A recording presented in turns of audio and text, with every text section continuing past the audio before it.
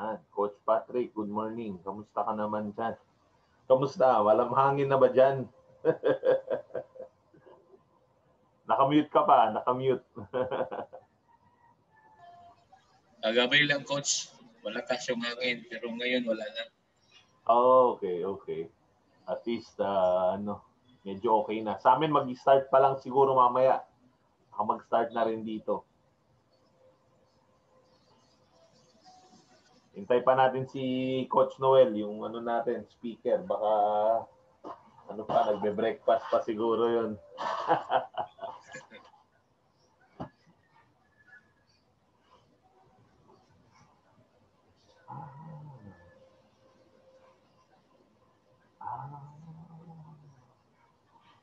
Okay. Teka lang. Na-log out pala ako. Sige. Make me host. Wait lang ha. Hintayin lang natin si Coach Noel. Habang ano. Aga mo ngayon, Coach Pat ah. Ah, hindi ako naka-jogging. Usually, mag-jog ako. Ah, ganon. Oo. Oh. So, alternate yung jogging ko pagkatapos pupunta ko sa school. Oh. So, pero yung Saturday, Sunday, may klase ako sa doctoral ko. Mga 9 o'clock pa. Mga 9. Ah.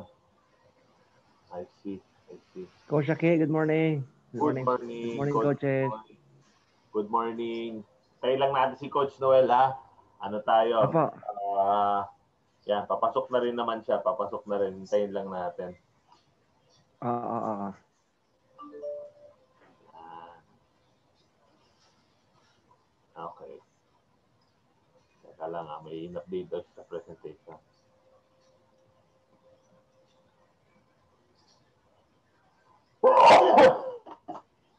Pwede siya, pwede. Pwede. Pumasok. Yan. Hmm. Yan. Coach Noy, ready ka na ba? Papasok na yung bagyo mamaya. Maramdaman na natin yung hangin. Nako, nga no. Sana hindi naman apektado lahat. Oo nga eh. Ah, mukhang mukhang malakas-lakas to. Masyadong Oo nga masyadong no. madaming usapan tungkol dito sa bagyo na to. Grabe talaga tong ano ng ano ba? Pandemic plus yung iba pang mga calamities. Pero okay lang yan. Natural lang naman na ano yan. Correct, correct, correct. Mm. Basta ano patuloy. Ako ngayon dito coach, ano, araw-araw pupunta ako dun sa may round ball kasi ano naman allowed naman ngayon yung mga magja-jogging jogging. Marami na coach dito sa may Garden Villas. Hmm. Eh doon lang din ako mag-isa, magsipa-sip ko ng bola. Oo. Naglipat kasi kami doon sa ano dati 'di ba? Sabi ko doon kami sa isang kapatid namin doon sa sa may Rosewood, sa may Santa Rosa. Oo. Eh, dito na naman kami sa may ano, sa may Garden Villas. Sa may Santa Rosa Ah. pa rin. Oo. Okay. So okay naman. Wala naman ano. Kanang admit natin si Bombet. Ayan na, Scotch Bombet. Nako, quick quick 'yun ah. Oo. Pina-quick. Sa akin ano naman, suman. Pang ano lang 'yon, pang pang ano tawag dito, pang snacks lang 'yon. Ang Pang kape-kape lang. correct, correct, correct. Talaga naman no, yung mga usapan natin coach. Salamat talaga coach Aki. Oo, I think, di ba? Learnings. Marami Oo. akong ano, talaga learnings. Salamat talaga sa ano mo, Dahan yan. uh, sa efforts mo. Mag-invite, mag-invite din tayo ng mga ano, ng mga coaches ng ano, ng mga university. Maganda. Maganda yung na-share ni Coach Reggie last time. Correct. So, yun nga, coach, nag-ano nga ako, sabi ko sana meron talagang ano no, makapag-take talaga ng C license no, kaya lang online talaga. Kasi may may prerequisite kasi 'yon. Ewan ko lang kung hindi ko lang sure kung ano ka na, pwede na dumiretso sa C kasi may prerequisite yung C license. Ay, ganun. So, kay... muna ng ano, ng parang introductory course. Ay, oh, para sa akin, ano yun, coach? Dapat, coach, yung talagang ano pa, bago pa talaga. Kaya yun muna, introductory course ka muna. Parang uh, actually tawag ngayon doon PYCL. Mm-hmm. Yun. Pag nakapasok ka na doon sa PYCL, ano na yan, pwede nang dahan-dahan na makapasok doon sa sa C license. Kasi halimbawa, nag-start ka pa lang, baka pag dumiretso ka ng C, uh, ma-challenge ka dun sa ano, sa ibang terminology or dun sa ano, di ba? Mm-mm. Totoo, totoo. Epekto ba yun sa payment sa registration nila? Um, actually, Coach Pat, hindi pa, ano eh, wala pang nilabas na memo officially. Ang basa ko dyan, i-announce yan ngayong ano, pag nagpa-congress na ngayong November. Good morning, coaches. Good morning, Coach Aki. Coach, Coach Patrick. Hey, good morning. Coach Lloyd. Good morning. Good morning, Coach Bombet.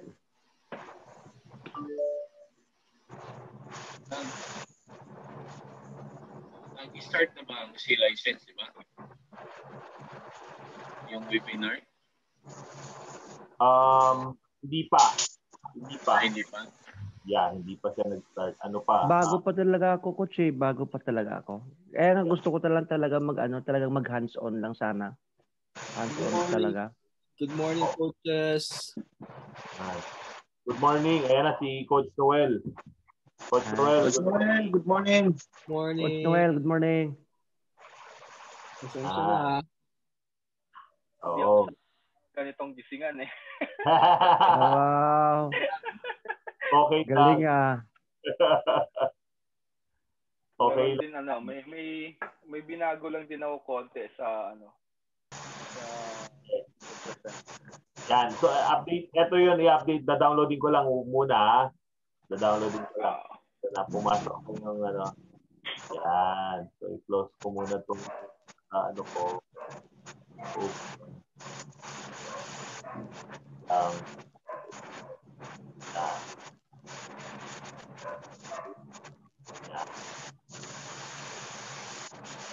So anong anong ano anong slide yung gusto mong simulan Coach Joel? Yung DNA o yung stage of development? um ihuli natin yung DNA. Okay. Hmm, yun yung pag-usapan natin sa huli. Ah. Sige. Okay, so dahil uh, dahil 6:39 na no, uh, mayroon naman mga papasok na mga coaches as we as we go along ano na lang, ano na tayo, sa tingin ko, dapat mag-start na rin tayo dahil um, yung oras ni Coach Noel, kailangan natin i-maximize. Baka may mga questions tayo mamaya. Yan. Okay, um, good morning sa inyo lahat. Um, today we have uh, Coach Noel Marcaida. He will uh, he will be sharing with us about goalkeeping, no? Sa football, uh, very important yung mga goalkeepers dahil sila yung last line of defense natin, no? Kailangan naka-link up na talaga yung team dyan, yung preparation dahil at the end of the day, yan yung huling-huling ano natin eh, depensa para hindi tayo mag-goala, no? Ma-scorean ng kalaban, no? Si Coach Noel, nakasama ko siya since 2000, na-meet ko siya nung 2006 sa Ultra dahil at that time ano tayo no na naka-volunteer tayo nun kay Coach Mar kay Coach Maro sa sa women's team. Tapos na doon doon doon ko simulang nakilala si Coach Noel. Uh, I I've known him as someone who is uh, very ano yun, masipag tapos uh, tahimik lang no? Pero he does his job. Walang reklamo 'yan. Kasi ano nun eh, yun yung mga times na ano, ang tawag nga namin sa Ultra, yan yung mga century tuna days, no? Um, uh, century tuna days nung ma- ma- maninipis pa kami, pero alam mo yon ano naman, okay naman, okay naman, pero yun. Basta anyway, si Coach Noel, masipag siya sa ano ng goalkeeping and I'm happy na pinursu niya yung pag-aaral dito. No? Kasi iilan lang dito sa atin sa Pilipinas yung nag-pursue ng goalkeeping. And we are very happy to have him with us uh, at ma-share sa atin. Kasi ito, I think, babalik-balikan din natin tong topic na to. Uh, lalo na pag madami na yung mga coaches na mag inquire no? Kasi dahan-dahan dumadami na rin yung ano natin sa group no inquiries. Um I think this one should be always discussed kasi ito dapat ay ano uh, this is a very important part ng isang team no? So si coach Roel Marcaida ay isang uh, A licensed coach no? Um nakapag-handle na rin siya ng club. Okay yung Kaya FC nakahawak na rin niya ng mga academy. Tapos ngayon meron din siyang uh, academy na sarili, no? yung goal, GK Marks, okay, yung goalkeeping academy ni Coach Noel, sana suportahan natin yun. No? Tapos, um, ayun lang, ayun lang. Uh, mamaya, kung may mga question kayo, mas lalo ninyo makikilala si Coach Noel. Um, ano lang, uh, tanong lang kayo sa kanya. He's very uh, open and he's re- really willing to to help. Okay, so ayun lang. Coaches, uh, let's welcome us uh, Coach Noel Marcaida. Coach Noel, good morning sa iyo dyan. Um, good morning, Coach Ake. Maayong buntag sa tanan. Tama ba yun? Oo, tama. uh, medyo ano din ako, um, marunong naman ako mag-Cebuano. Marunong mag-Ilonggo, nakakaintindi. Taga Masbate ako. Okay, so hindi pwedeng maibenta. Marami alam na lingwahe. Wag lang ano ah, wag lang yung sa Sambuanga yung malalalim kasi hindi ko alam yan kung paano magsalita diyan. okay. Um well, ang ang pagsa ang ang ang goalkeeping, okay, ano ba talaga yung goalkeeping? Ano ano yung kailangan natin sa goalkeeping? Okay, yung goalkeeping ba kinakailangan ba siyang magkaroon ng specialist para para maayos yung development ng goalkeeping dito sa Pilipinas? Well, ako masasabi ko yes. Um, katulad nung sinasabi yan sa coaching ng iba, um, ah hindi, um, parang kailangan kung kung para ma-run mo yung isang bagay, kailangan kailangan mo mismo muna ma ma-experience sa sarili mo. No? So, ako naniniwala ako na yung yung yung goalkeeping kailangan meron talaga yung specialista. Hindi pwede na parang parang sa ano yan eh, um dentist, 'di ba? Mm-hmm. Sa doktor, taga-bunot ng ngipin. Hindi pwedeng ubigay ni ang magbunot ng ngipin. 'Di ba? Yeah. Hindi pwede yung ortho yung magbunot ng ngipin. So meron talaga yung specialista para magkaroon tayo ng magandang improvement sa larangan ng goalkeeping kailangan meron talaga tayong goalkeeping specialist. Okay? Yeah. And um, sa ngayon, nasasabi ko na nag nag nag-improve yung status ng goalkeeping it's because of nagkaroon tayo ng development sa goalkeeper coaches natin. Okay? Um unahan natin paano ba natin ma-introduce yung yung goalkeeper sa mga Filipino? Okay? Um, nandun tayo sa sitwasyon nga na pag sinabing yung old thinking na pag sinabing goalkeeper, nandyan lang sa goal, nag-aantay lang ng bola. Yeah. Okay, so ganun, ganun ang ano eh, ganun ang ganun ang mentality before eh. Pag sinabi mong goalkeeper, boring siya na pwesto eh. Mm-hmm. No? So ganun yung mentalidad ng mga mga sinauna. So ngayon, paano natin siya introduce? Yung goalkeeper ngayon, tutusin, kailangan mas magaling ka pa sa paa compared sa iba na outfield player. Wow. Okay? So, yun yung para sa akin. Kasi, ang ang ang ang modern goalkeeping, hindi ka lang taga-salute ng bola eh. Hindi ka lang taga-depensa ng goal. Ang modern goalkeeper, siya yung um, goalkeeper sweeper, ika nga. Okay? Sweeper keeper. Okay, mm. so for you to be able to um for you to be able to be successful ba for you to be able to be successful on that uh, position and um, magawa mo yung role nung pagiging isang goalkeeper sa na, na pagiging isang modern goalkeeper, kailangan marunong ka sa paa. Yes. Okay? So, lalagyan natin siya, i-elaborate natin siya mamaya pag na pag napag-usapan na natin yung regarding sa phases of development. Yeah. Okay? Kung gaano siya ka-importansya. And at, at what age kailangan i-build and kung paano siya i-build para mag- yung goalkeepers natin matuto na um, maging magaling sa pa. Yeah. Okay? Um, yung slides ko, ah, nakikita ba natin, Coach, yung slides? Yes. Um, Yes. ah, yung sa slides, um, I choose to uh, present to you the first slide with Neil Etheridge and Patrick Dato. Okay, so subukan muna natin siyang umpisahan sa discussion na we will have to compare our foreign-based goalkeeper and our Filipino goalkeeper. Okay? So, ayokong sabihin kasi na feel foreign. Baka makot na naman tayo eh. Okay, Oo. so sabihin na lang, sabihin na lang natin na foreign-based goalkeeper. Pero it's a he is a Filipino. Oh, Okay? yes. Um, medyo maganda pakinggan eh. Foreign-based uh, goalkeeper. Filipino foreign-based goalkeeper. Parang those, pareho lang yung meaning pero subukan na natin gandahan. Kasi whether we like it, I mean, Filipino siya eh. Di ba? Yes. Yung dugo na, naka, na dumadaloy sa kanya is Pinoy eh. So, medyo iba yung ano pag sinabi mo na feel foreign. Okay? So, yung Filipino goalkeeper na natuto maglaro as goalkeepers abroad and yung Filipino goalkeeper na talagang simula ng pagkabata dito siya nag-training. Dito siya na-develop. So, ano yung difference, di ba? Pagdating sa technical makikita mo wala namang masyado, walang walang walang difference eh Mhm. merong difference pero may sasabi natin it's only a hairline difference. Okay? Ah, pag sinabi mong technical na aspeto ng development nitong dalawang goalkeeper na to, hindi sila hindi hindi mo makikita angat yung isa sa ano eh pagdating sa technical. Mhm. Okay?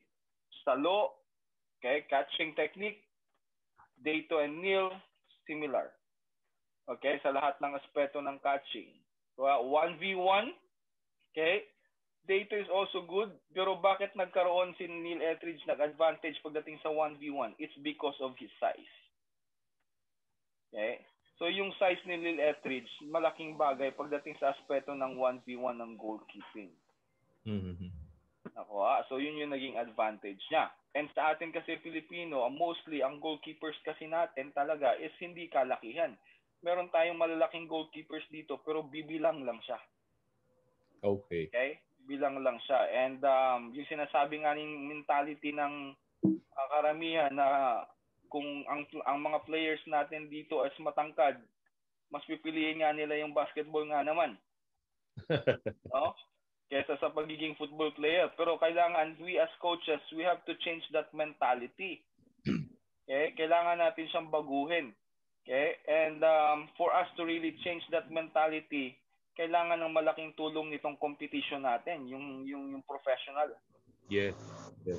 Okay? Tama. Kasi kung makikita natin kung ang professional um uh, professional uh, competition natin is stable, okay?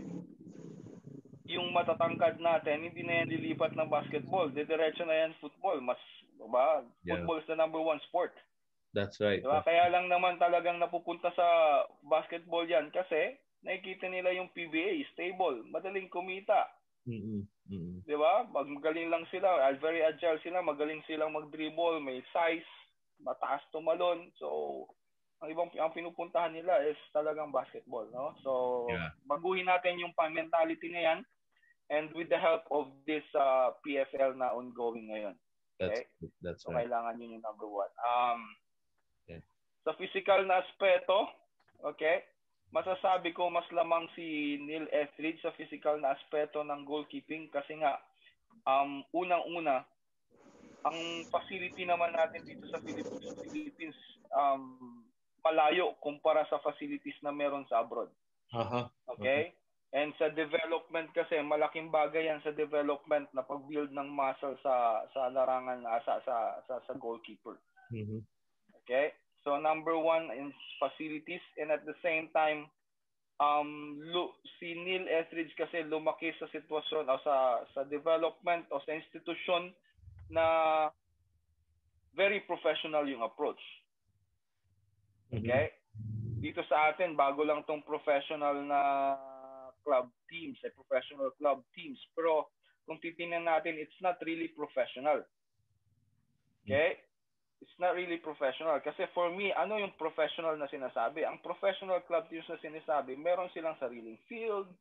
Mhm. Okay? Mayroon silang kompletong facilities. Okay? So yun yung number one eh. Para sa akin, masasabi ka na professional club if you have those facilities na. Mhm. Okay? And uh, sa tingin ko, kaya yun yung naging isang advantage nung mga mga foreign-based goalkeepers natin. Now, pagdating, pagdating sa tactical na aspeto naman, pagdating sa tactical, mas lamang, okay, mas nagkaroon ng advantage yung mga foreign-based goalkeepers natin. It's because of the level of competition competition they at. Yes, yes. Eh, it's because of the level of competition na kinalakihan nila. Okay? Now, ano yung bakit ganun coach? Bakit nagkaroon ng mas magandang o mas advantage pagdating sa tactical na aspeto doon sa labas kaysa sa atin? Mhm. Okay? Kasi yung mga bata nila, i-compare mo sa mga bata natin, mas marami silang games in a year. Okay? And sa development ng whether goalkeeper ka man o kahit anong sport ka man, okay? Mag, magiging maganda ang development mo sa larangan o sa sa sa sport na pinili mo pag marami kang competition. Pag marami kang games. Okay?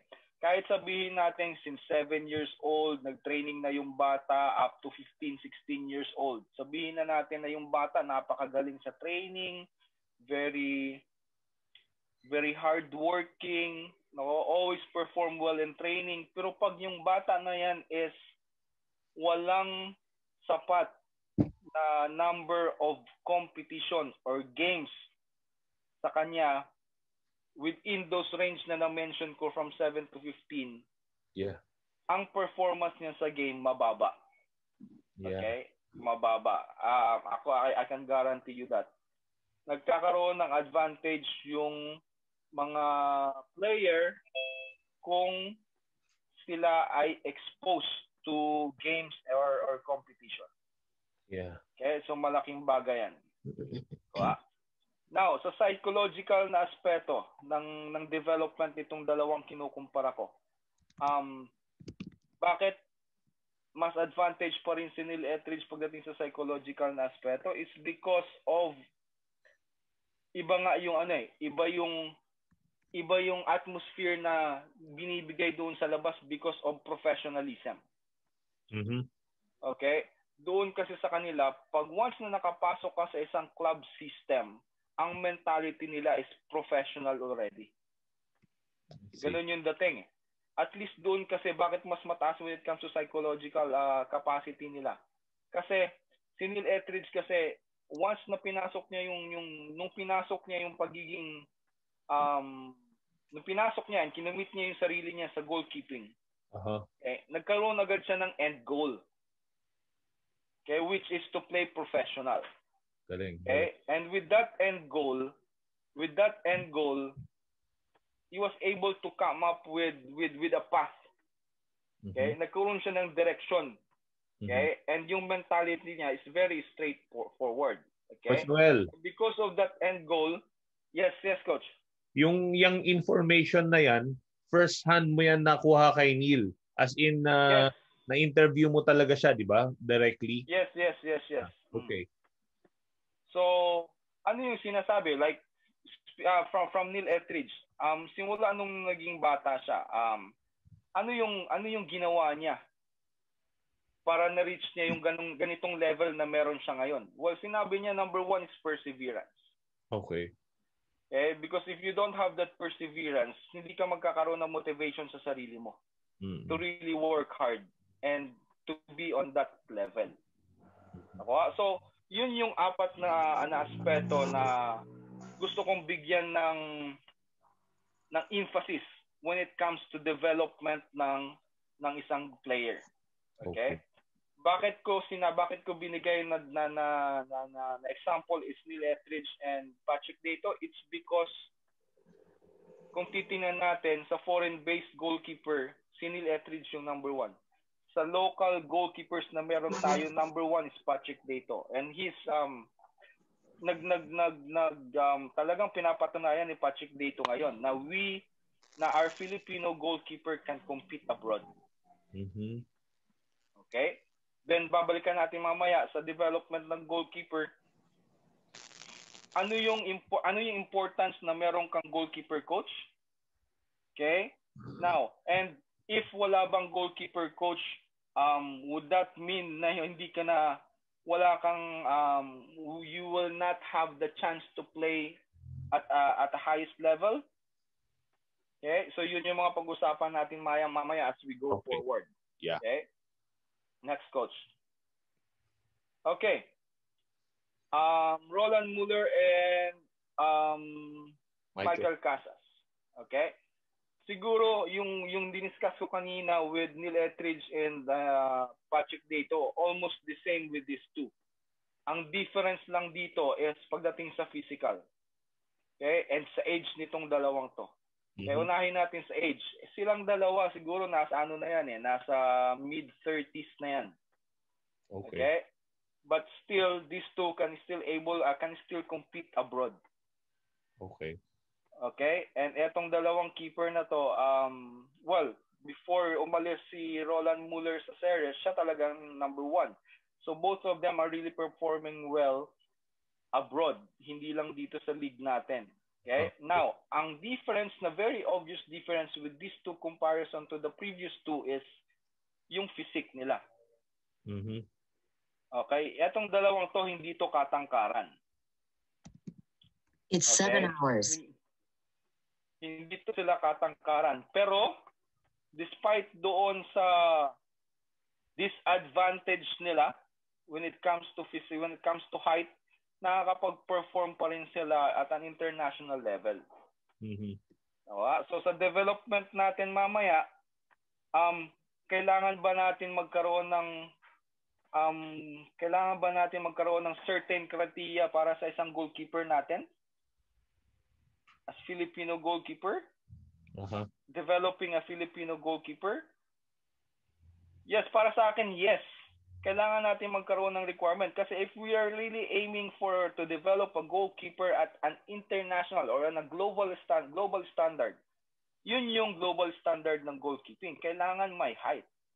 Kasi if your goalkeeper walang height, diba? if you're playing against our European teams, then forget it. Medyo mahihirapan yung teams natin. Yeah. Diba? Mahihirapan yung teams natin. Kaya eto, example ko, etong si Roland Muller, kahit sabihin natin sobrang galing niya, napakagaling niya dito, bakit hindi siya nagkakaroon ng chance doon sa Germany? Mhm. Di ba? Kasi it's because of yung yung goalkeeper coaches doon and club teams doon really looking for a tall goalkeepers. Aha. Ah, hindi pa enough yung height ni Roland Muller. Roland Muller is ano lang yata siya, 5'10", 5'11".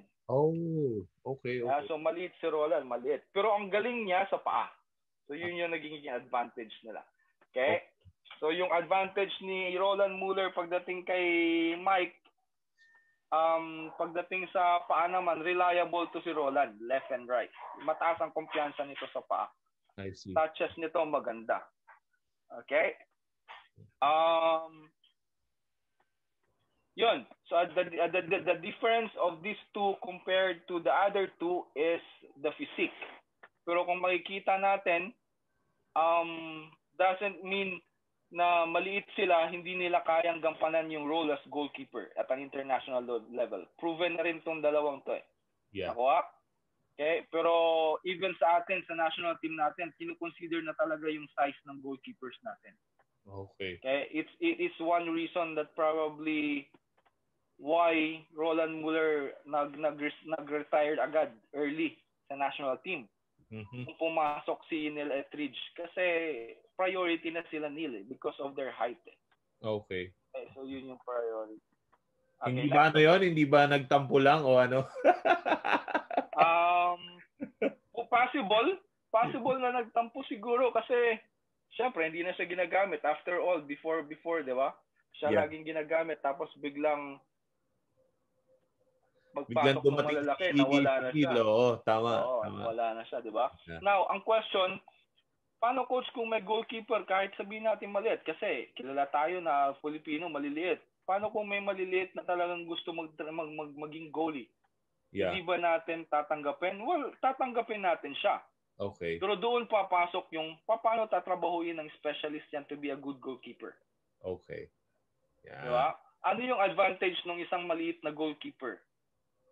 We are born to be a very agile Filipino citizen. Kumbaga, nako, lahat tayo, kumbaga ang Pinoy kasi ano yan, pag-usapan usapan natin yung yung bilis naka-instill na agad sa atin yan mga Pilipino and malaking bagay diyan it's because of our physique Mhm. Ako, yun naman ang pinaka-obvious na makikita mo sa isang goalkeeper na 5'8", 5'7", tapos tingnan mo yung goalkeeper na 6'1", 6'2", yung pinaka-difference niyan is is the quickness, the agility. Okay. Nakuha? So, paano natin i-develop yung goalkeeper pagdating doon? So, kung yun yung strength ng ng ng player natin, so hindi natin masyado pagtutunan pag ah, ah, so kailangan natin siyang trabahuin on his strength. Nakuha? Kasi mabilis 'yan eh. Okay? So, ma-maximize natin yung bata na yan through his quickness. Aha. Aha. Nakuha? And ano yung disadvantage niya? Kasi maliit siya, syempre. So, Yeah. paano natin, ano yung kailangan focus natin ng development? So, siguro yung jumping ability niya. Ah. Okay? Para ma-compensate natin yung disadvantage ng isang maliit na goalkeeper, is kailangan natin pagtuunan ng pansin yung development ng ng ng ng legs niya for him to be able to jump higher. Okay. Okay? Yeah, so so yun yun yung yun yung isang aspeto na na-develop nitong dalawang maliit na goalkeeper natin. Kaya pag nasa field sila, titingnan mo, parang ang laki din nila kasi they can really jump higher. Aha. Nawa? Pag sa diving nila, kung ano yung kaya ng six-footer na diving, mas kaya din itong dalawang to. It's because of their power sa leg. Sa legs nila. Okay. Okay? Yung naging guest ko si Michael Casas, malaking tulong daw sa development niya is jumping rope. Oh, okay. Which is true. Kasi yan na daw ang pinaka-warm up niya since na maliit siya, eh, yung jumping rope niya. eh. Which is true kasi by doing a by by doing a jumping rope, nadi-develop mo na yung yung ankle uh, strength mo, yung calves mo, okay, yung knees mo and at the same time if you can if you if you have a if you if you have a variety of technique with the jumping rope, pati yun sa upper extremities ng ah, sa upper extremities sa upper extremities mo and sa upper portion ng legs mo which is the quads and ham, hamstring slowly na di-develop mo na rin yung muscle. Okay. Okay? So, yun yung laking, malaking naging, naging tulong kay kay Michael Casas. Okay. Okay? Coach, move forward tayo. Yan. Okay. Um, okay, nagkaroon na tayo ng comparison, no? Doon sa foreign saka sa uh, sa ba- uh, foreign based goalkeeper natin saka sa local natin. Now, subukan natin magkaroon ng comparison of a provincial JK from an NCR JK. Um, sa inyo coach, um, sino yung may experience dito sa mga coaches natin? Sino yung may experience na pwedeng i-share nila yung um, knowledge o yung observation nila sa mga provincial goalkeepers. Yan. Ayan, may mga goalkeeper ano rin tayo dito, coaches, no? Si Meron ba tayo, coach? Eto si Floyd, goalkeeper 'yan. Yan. Floyd. Yan, pwede kang Coach, mag-share. ano yung Pwede mga mag-share. experiences nyo or ano yung observation nyo sa mga Coach, provincial pwede ba ako mag-share? Yes. Oh, sige, Sir Jack, go ahead. Good morning, sir. Good morning sa inyong lahat. Sa buong mundo, si Jack to. Eh may share ko lang talaga, kailangan ng goalkeeper, may pusong goalkeeper. Yung bang matapang kailangan. Kasi pag goalkeeper ka nga hindi ka matapang, useless na. Si Michael Casas, I, I saw him growing, growing, growing up sa Cebu. Hmm. Maliit pa yan, bata pa, matapang na yan. Kinakain lang ang bola at saka putik niyan. Kaya kahit maliit siya, so he is still effective. Okay. Marami akong nadaanan ng mga goalkeeper dati nung nag-coach pa ko ng college. Mayroon akong isang goalkeeper na pakatangkad pero walang puso, wala, useless, natatakot sa bola. Aha. May isang goalkeeper din galing Cebu, yung ano, yung matangkad din na naglaro ng global dati. Naghinto na kasi wala eh. Walang puso eh. Nakilala niyo yun. Paulo Laro ata. Pascual. Oh, I, I didn't mention anybody ah. Ikaw ha, chismis ka ha. Grabe yan. Eh, eh, eh. Text ka agad. Oh, kasi Oh, go ahead. May, may mga, sayang na bata yun kasi magaling yun, matangkad pa pero walang puso. Hindi hindi maano ba? Sa ano pa sa Bisaya pa hindi isog. Kailangan ka ng isog basta goalkeeper ka, hindi ba? Coach, tama, matapang tama, kailangan. tama, coach. Tama, coach. Kahit matap at kailangan matapang si Bartes, 'di ba, yung goalkeeper ng Barcelona at saka France. Maliit lang 'yun. Oh, World Cup. Aha. Yung goalkeeper ng Colombia dati, yung maliit din. Yung goalkeeper ng Mexico, maliit din. Pero puro matapang, pero ma- malakas tumalon. Kaya effective din sila. Nakalaro nga ng World Cup eh. So Oo. hindi talaga kailangan ng height. Pero advantage ang height. Pero kailangan talaga ng goalkeeper matapang ka. Kung wala kang tapang, wala, wag ka na mag-goalkeeper. Mhm. Mm, Diba? Yan lang makatribute ko. Yan, go. Thank you. Thank, Thank you. you very much, coach. Yeah. Floyd, Okay. Floyd, share mo naman yung ano mo, experience mo sa ano, yung tinatanong ni Coach Noel about goalkeepers. uh, comparisons uh, regarding provincial GK and uh, NCR GK. Uh, for me, coach, siguro ano lang, uh, isang malaking factor dito kaya siguro hindi ganun kalakasan ang goalkeeper dito sa aming province. Like yung sinasabi ni Coach Noel, lack of ano games. Oh, okay. So, merong mga GK dito na matatangkad and sabihin natin may potential. Kaso, since kahit na anong training nila or uh, anong pakita nila sa game, hindi nila hindi pa kayang masya, hindi pa hindi pa naman siguro kayang mapantayan na ganun yung level nung pagiging ano nila, G, pagiging NCR GK versus provincial GK. Kasi ang provincial GK po, coach, aminin man natin o hindi, hindi talaga siya natututukan. Ah, ang nangyayari kasi dito, pag GK ka, sige kasama ka sa team. Parang laro laro ka lang tapos doon ka, doon ka. Mapapabayaan ka eh kung hindi ka talaga kung hindi mo titignan yung coach o yung trainers nila kung paano mag-train. Napapabayaan ng GK dito sa amin. So, one example ko po na from province to uh, dito sa amin ah, sa Pangasinan to GK dyan sa NCR. Uh, in fact, nag-national team din sa homeless si Rick, Rick Padilla. Uh, that was my co-teammate noong college pero nag-start siya college na po. So I was the GK and he was my center back. Uh, nagulat na lang ako nag-GK siya doon. So nakatulong din siguro yung training namin kasi sa kanya ako nagpapatulong noon na i-train niya ako as keeper. Kumbaga gagawa ko ng sequence na iti-train namin. Then siguro yun na yung ginamit niya rin uh, para mapunta doon sa ano sa NC pagiging NCR GK. Uh-huh. So, kung mapapansin nyo, may tangkad si Rick.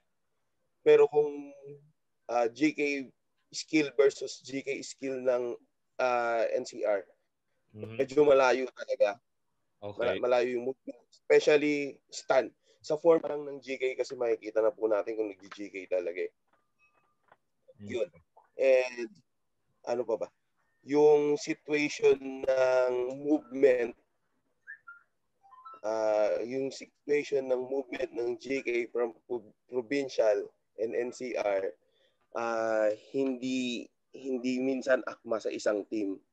Kung napapansin nyo, uh, province, movement ng GK is nandun lang sa may goal.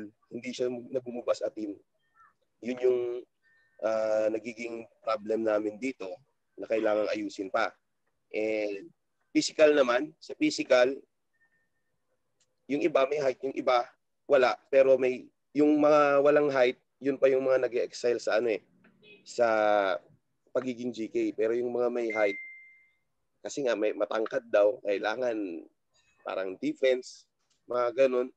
Yung mga mentality kasi ng coaches na iba, pag matangkad ka dito ka sa likod, ganun. Or minsan yung iba naman pag matangkad ka doon ka sa GK, yung mga ganung aspect dito kasi po sa amin eh. So yun ang nagiging problema namin sa uh, sa pagiging comparison dito. Mental, okay. yeah. sa mental coach, yun, na, naapektuhan kasi ang nai ang naipapasa sa mga players, which is may, minsan may talent, ang, nap, ang napapasa sa kanila is dito ka kasi matangkad ka. Dito ka kasi maliit ka. May ganun eh. Kasi yun, yung kay coach, yung compare kanina, sinabi yung pangalawa na mga ano GKs. Totoo yung sinabi ni Coach Noel na may maliit pero grabe tumalon. Ah, uh, gamit na gamit din sa pagiging GK. Kasi meron akong isang GK from Urdaneta City ngayon. Uh, movement siya GK. Ang problema lang namin sa kanya is height. Doon kami nag doon kami natatalo pag sa height. Siyempre, ibang-iba pa rin yung may height as a GK kasi yung sabi nating uh, high ball. Ang high ball niya hindi niya kailangan mag ano eh, mag-effort na sobrang talon eh. Kumbaga nandun na kagad yung tangkad niya. Yung maliit, mag-effort pa talaga siya kumbaga may one step pa na mag-a-add or two step mag-a-add before siya makaka-jump ng mas mataas. So uh-huh. malaking factor talaga yung ano sa physical uh, physical 'yun. So social sa social sa socialization sa amin coach uh, like yung kay coach Noel ah, may pra, may program kasi siya for GKs talaga eh. Dito nag-start lang kami around 2017 ata yun nagpapa GK clinic na kami which is uh, nakaka- doon doon namin nakakita yon yung GK namin na yon sa GK clinic. So yun tinutukan namin siya. Ano ba ba? Tactics. Depende po siguro sa magtuturo. Kailangan maituro talaga yung mga basic information regarding sa pagiging GK eh, para ma-improve niya yung tactics niya as a GK. Pero ikaw Floyd, pasok tayo sa iyo. Pero ikaw Floyd, how were you how are you able to develop yourself as a goalkeeper there knowing na konti yung number ng matches, di ba? Paano mo na ano yun? Uh, na, yeah. Yung sa akin coach, ano yun eh, uh, parang suntok sa buwan lang yung nangyari sa akin kasi na-disgrasya yung GK namin, which is may height yun coach.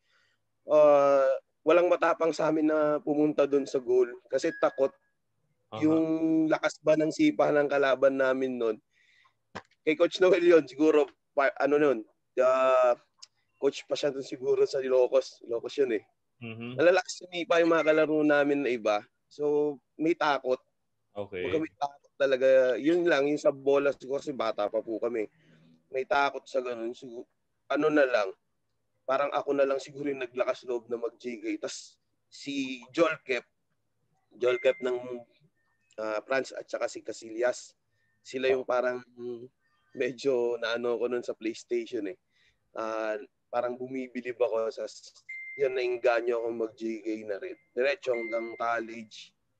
Pero nung nagkaroon ako ng uh, injury kasi nung uh, second year college ko coach ano eh, sinipa ako sa tagiliran. Oo. So, hindi na ako nakapaglaro ng GK noon pero linipat naman ako sa field. Yeah. Okay. So, yun. Yeah. Thank you, Coach Lloyd. Coach Noel, isa pa, may isa pa tayong goalkeeper ano dito eh, na participant ngayon. Si Coach Arvin Soliman.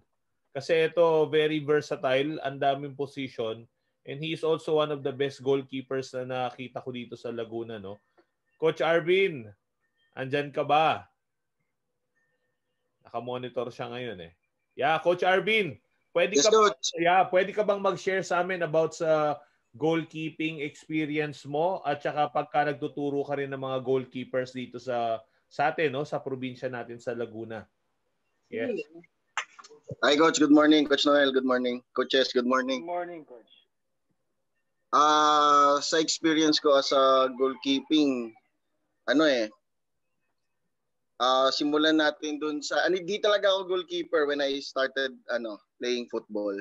Yeah. Um si coach late coach Alan Python Senior yung nag-push sa akin as a goalkeeper because that time uh, since kanina sabi ni coach Floyd sa probinsya kasi nung time na yun ako yung pinakamatangkad doon sa team.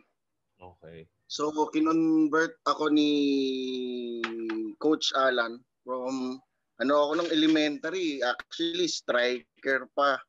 Okay. Tapos kinonvert ako ni coach Alan as a as a goalkeeper since nung nag nagbi-build up ng team for Batang Pinoy Batang Pinoy 2002 Ah. ako yung ako nga yung pinakamatangkad doon sa team. So nag-start kami ng training November uh, late October and then our game is December. Mhm. So yung training nung time na yon um talagang umiiyak pa ako kasi siguro in the short period of time I need to uh, parang ano eh, to improve. May catching, uh, may positioning. So, yun doon. At saka hindi ako marunong mag-dive doon time na yun. So, yun yung ano. So, since that, hanggang ano high school naging ano ako goalkeeping. Uh, goalkeeper. Tapos actually nag-try out ako sa Binild for goalkeeper. Tapos Coach Maro converted me as a defender. Uh-huh. So, yun. Yun yung naging mga experience ko as a goalkeeper. Yun. And, and then as a play, as a coach naman today, so sa akin very important talaga na involve ang goalkeeper in terms of uh, tactical training. Kasi it's very important also na kasama sila. Most especially kung ang topic natin is uh, build up. Um, yun yung uh, very important. Kasi ngayon, talaga yung trends, trend sa goalkeeping is ang tinitingnan natin is Manuel Neuer of uh, Germany. He is always involved in uh, build up of Germany or even in Bayern. So, yun yung parang ano lang kasi yung goalkeeper ngayon eh. Keeper type. Kaya for me, nung uh, when I'm coaching, palaging involved ang uh, goalkeeping. It's very important. And I think Coach Ake, um, here in Laguna, kailangan siguro unti-untiin din natin. Kasi meron ding mga potentials na goalkeepers eh, from here. And I think when I experience handling yung uh, naging assistant coach ako sa U15 national team, nung pumunta ako ng Daet, ang dami din uh, goalkeepers but ano eh, um, siguro sabihin natin na yung experience talaga and exposure ng mga goalkeepers in provinces is kulang. Oh, so, oh yan na, yun, dahil nabanggit mo yan, Coach Arvin. If, yes, Coach. If, if the office will call you to serve, to train goalkeepers, ha? katulad ni Coach Noel, ha?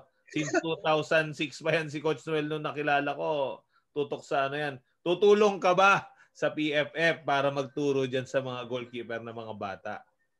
Oo naman. Siyempre, ano eh, isa din sa mga talagang uh, ex, uh, gusto kong ma-achieve na makatulong pa rin talaga. Kasi doon tayo nag-start eh. Doon ako nag-start as a player Ay. and as now as a coach. Oh, yun. Ang ganda. Okay. Thank you Coach Arvin. Uh, baka may iba thank pang you, coaches coach. na no. Thank you Coach Arvin ha.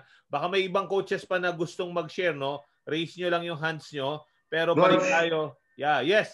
Coach yes. Coach Aki, good morning. Ayun, no. Baka nasa banyo ka pa, Coach Joel, ha? Ikaw. Coach. Coach Joel, good morning. Coach, good morning. Coaches, good morning. Eh, ano, agree ako kay Coach Alvin, ha? Yung, yung involvement ng goalkeeper sa sa sa lalo na sa ano sa skills training yung yung kasi no, nakikita ko nakikita ko kahit dito sa San Carlos pag nag skills training sila mga 4 versus 4 nakatayo lang yung keeper eh so i- importante talaga na, na involve yung keeper lalo na sa atake No? Eh, eh, kay importante ano eh, importante aakyat ang keeper eh, to support behind eh, the defensive line. Tama. I, i, nawawala kasi yan coach. Ang nangyari, tapos isa pa, hindi nila hindi nila napapansin na ang importanteng player sa loob yung goalkeeper partner kasi pag walang goalkeeper wala nang team Yo. pero pagka mga field players mawala lang isang depensa mawala isang midfield o isang forward pwede pa yes pero pag ang keeper ang nawawala yun ang yun ang uh, wala ang football kaya importante talaga para sa akin yung goalkeeper. Tapos yung yung selection of goalkeeper ba, yung nagtataka ako, ang daming mga putot ng goalkeeper, ang daming sabi ko, bakit ganyan ang ilalagay yung goalkeeper? Putot means ano? Putot means maliit. Oo, oh, maliit. Yeah. Sabi ko, sabi ko, ano tayo, mag-a-adapt na tayo sa standard. Hanap tayo, okay naman yung goalkeeper na maliit na mabilis. Mayroon tayo eh, we have lot that qualities, eh, mabilis, maganda anticipation. Hmm. Pero for me, kung pwede man lang, kukuha tayo ng matangkad. Okay. No? I-develop natin siya kahit sa maliliit pa like itong itong nakalagay dito yung 10, 11, 12. Pwede naman natin yung turo-turuan na ng konti pero yung 7 years old siguro di hindi pa. Okay. Pero pag 10 papasok na sa 12, doon yeah. ang ano, doon ang uh, training sa goalkeeping. Okay. Okay, so, Coach Joel, babalik tayo dyan kasi si Coach Joel, dadaanan niya yan mamaya, no? Tapos, oh, um, ewan ko kung tama itong naririnig ko lagi, ang height, hindi mo pwedeng ituro ang height. Pero okay. yung pagiging goalkeeper, ano, kaya mong ituro yan, no? So, Coach Joel, balik, balik tayo sa iyo, ha? Ikaw na yung makapag-explain siguro nung part na yon and then we Ayun, can... si, si Coach Noel talaga, si Coach Noel. Okay, thank you, Coach Joel. Okay. Coach Noel, Go ahead. Yeah, unmute lang, coach. Okay, so napakaganda ng mga insights, no? Okay, yung una natin is um, yung kay Coach Jack. Tama ba ako, Coach Ake? Yes, Sir Jack. Yeah. Kay Coach, kay, kay Sir Jack, yun yung una, um, which is really true, no? Na unang-una kasi na kailangan talagang makita mo pag nag-scout ka ng goalkeeper is yung tapang. Okay. Okay, yung tapang. So, kung ang goalkeeper mahina ang loob, magka-problema kanyan pagdating sa development. Mm-hmm. Ako, ah. Pero kung ang bata takot sa bola, pero kung interesado matuto, okay, in due time, mawawala din yung fear niya. Okay? Kasi yan yung number one na mahirap i-develop eh. Mahirap tanggalin yung takot. No? Now, if you have a 7, 8, 9 year old really wanted to train as goalkeeper and really love the position, paano mo siya i-develop? Okay? Paano mo i-develop yung tapang sa kanya? Una kasi, makikita mo sa isang goalkeeper kung may tapang wala. Pagbatuhan mo ng bola na mataas. Uh-huh. Okay? 7, 8, 9 year old, subukan mong batuhan ng bola ng mataas. Ano yung magiging reaction?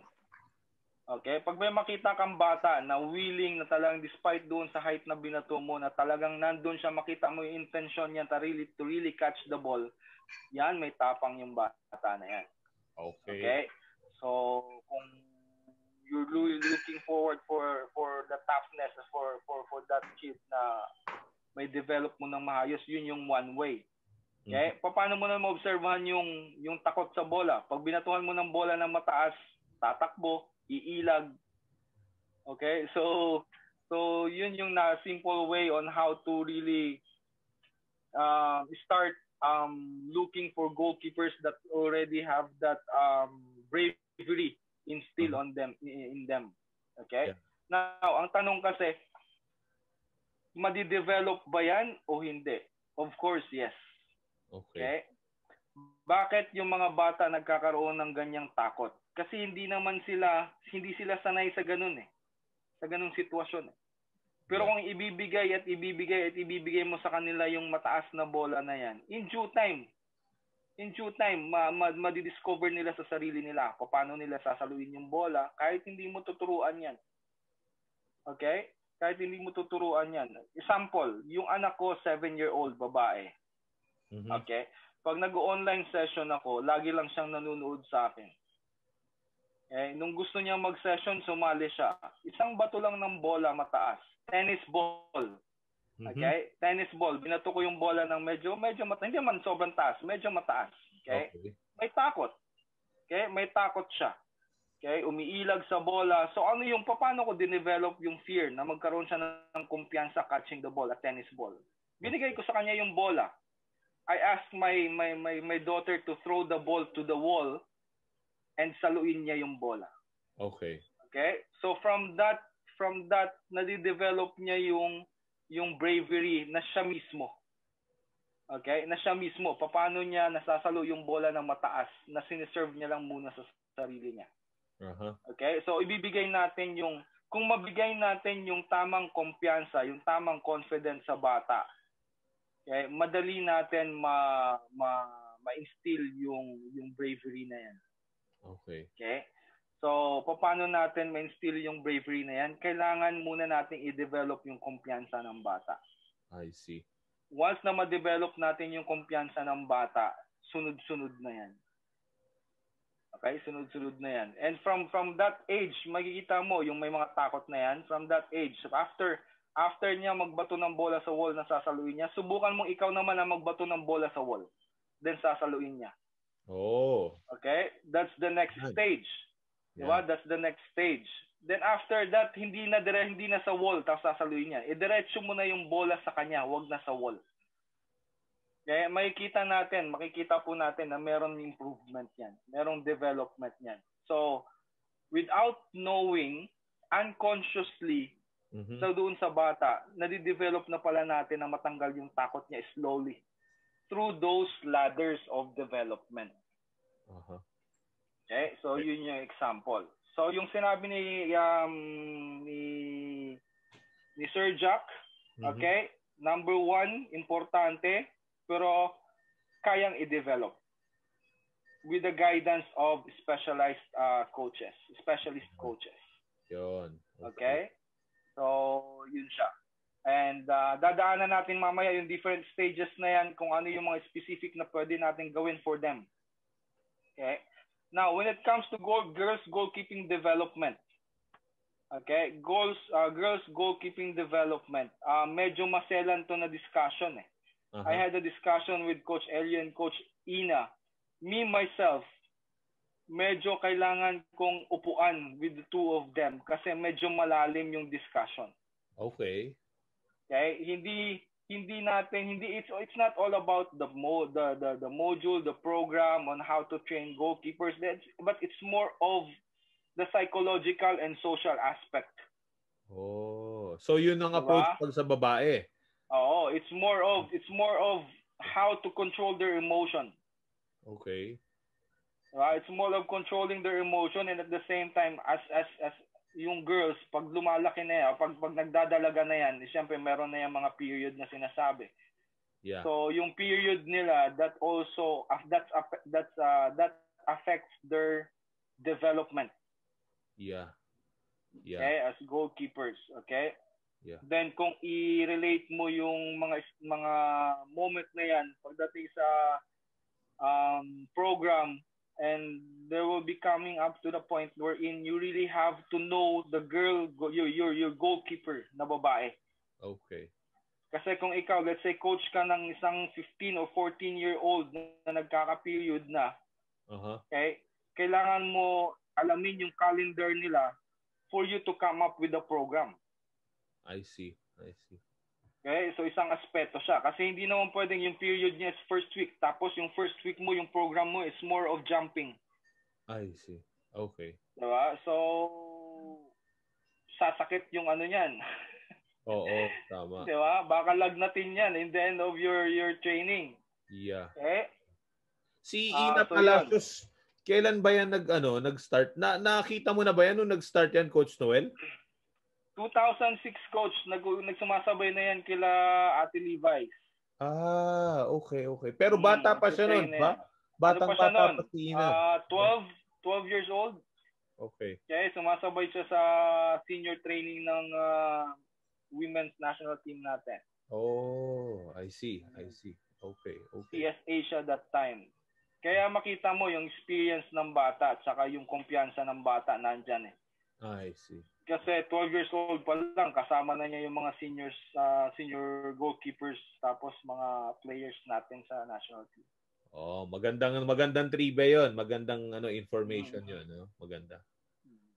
And um, sa lahat ng development, okay, sa lahat ng go, sa lahat na na-mention kanina nila, nila coach um, nila coach Suliman, sa si coach Floyd, Floyd. na-mention nila, merong one thing in common na na-mention nila. Aha. Okay? All of them started as field player, outfield player, not a goalkeeper. Oh. Kung papansinin niyo rin, if, if, if you're aware dun sa mga interviews ko sa mga goalkeepers, professional goalkeepers, um, yun yung similarity ng mga stories nila. Okay? Accident, accidentally being uh, assigned to be a goalkeeper, yung mga ganon, started playing striker, started playing defender, started player def, uh, playing def, uh, started playing a different uh, sports, not really football. Okay? And um, those are professional goalkeepers na naging successful. Aha. Okay? So sa development ng mga goalkeepers natin, mamaya i-discuss ulit natin sa, sa stages ano yung mas maganda. Paano natin talaga ma-train ang goalkeepers natin to be successful uh, on a high level matches and to be successful in their development and to have a success. Okay? Pagdating sa development. Okay? Um, GKs, uh, Go Academy GKs and Go School GKs, ano yung difference nila? Mhm. Okay? Um, pagdating sa mga sa, sa Academy um, goalkeepers, okay, yung mga Academy GKs na yan, um, masasabi natin na you will be having a goalkeepers doon na talagang um, my experience ha, nung nagawa ako ng Kaya FC Academy, um, yung mga goalkeepers doon is um, tala eh. I mean, alam mo yon yung mga coming from different schools na. So may mga majority is meron na talagang alam even from the the lower lower category. Aha. Okay? So yun yung for me maganda. What I don't like with the academy setup. Okay? Not a specialized uh, goalkeeping academy ah, with the club academies. What I don't like is um yung pinagsasama-sama yung yung from 9 years old to 16 years old na goalkeepers. Mhm. I think that is one aspect wherein we really have to improve. Okay? Okay. Hindi po pwedeng pagsamahin yung U9s papuntang U16. Okay? Mamaya yan sa phases of uh, uh, stages of, uh, of of development. Okay? Kailangan natin siyang i-departmentalize. Kung ba kailangan natin etong U7 to U9, isang grupo, di ba? Kailangan natin i-ganon. Kasi um, iba-ibang level, okay? So iba-ibang level, they need a different approach. Magkaibang approach yan. Hindi pwedeng yung U7s o U9s natin same approach pagdating sa U13s. Yeah. Okay? Ano yung pwedeng mangyari? It's either ma-inject natin yung takot ng U7, U9 goalkeepers if the program is if the program is ano, if the program is um para sa U13. Okay? So matatakot ang ang ang, ang na-develop na-develop natin dun sa U7 and U9 are takot. I see. Nakuha? So, hindi naman pwede na the other way around. Yung program natin for that group is focusing on U7s and U9s. Ano yung mararamdaman ng U13s? Yeah. Mawawalan ng gana. Yeah. Okay? So, kailangan natin siyang um, kailangan natin siyang i-categorize. Okay. Okay? Now, ang tricky dyan is, bakit coach yung U16, U17 pwede nang maisama sa U19? Aha.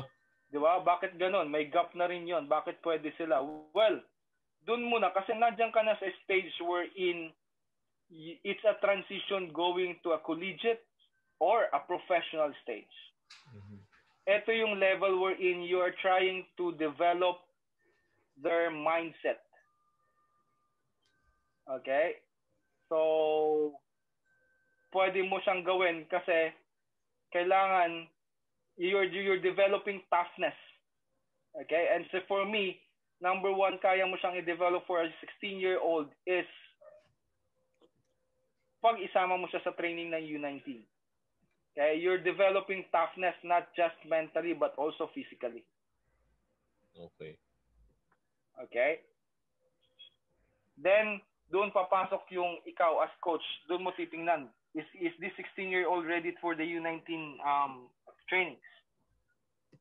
Mhm. Eh, pag ready na, makikita mo naman yan. Pag ready na siya, then continue. If he's not ready, then if experience mo lang, then balik siya doon sa category niya.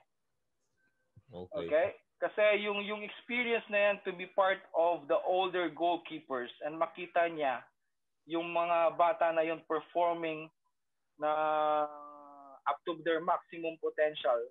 Pag nakikita nila yan, so at least magkakaroon sila ng sinasabing they can they can gauge themselves kung saan na sila. Okay. Okay? Makikita nila kung ano yung pa yung mga bagay-bagay na kailangan nilang trabahuin. Mhm. Okay, ano yung kailangan nila, ano yung kulang. So that's also one way wherein we um we can inject through uh, goalkeepers uh, development. Coach Noel, Yes.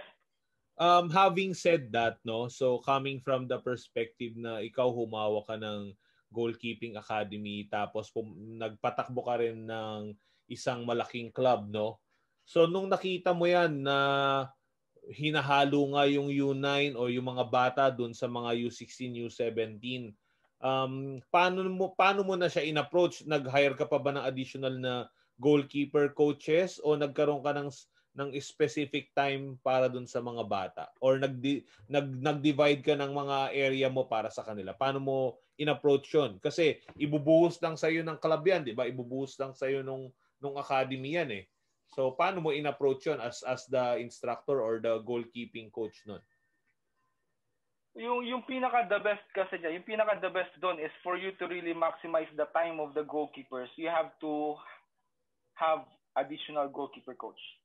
Mhm Yun yung yun yung yun yung number one diyan. Kailangan magkaroon ka ng additional goalkeeper coach. Tapos ilatag mo yung programa, then you have to divide.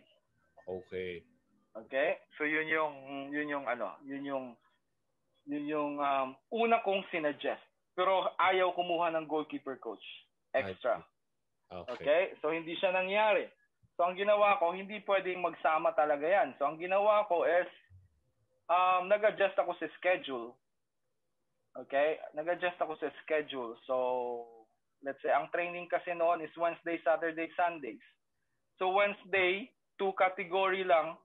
Then Saturday, two categories. Wednesday, uh, Sunday, two categories lang din. ah Okay, so hindi pwede magsama-sama. At least ma-breakdown mo yung yung ano, ma-maximize mo yung time ng mga ng mga bata. okay Okay? Kasi kung kasama-sama lahat 'yan, una, yung pila, ang haba. Nakuha? Pangalawa, ikaw as goalkeeper coach, dadating yung moment na baka may ma-injure kasi ikaw makakalimutan mo yung yung yung yung service mo. mhm Okay? Kasi pabago-bago 'yan eh. Pabago-bago yung magiging approach mo kasi depende sa nakasalang sa harapan mo. Eh, dadating talaga sa punto, sa sobrang haba, sa dami niyan, magkakaroon ka ng problema sa delivery.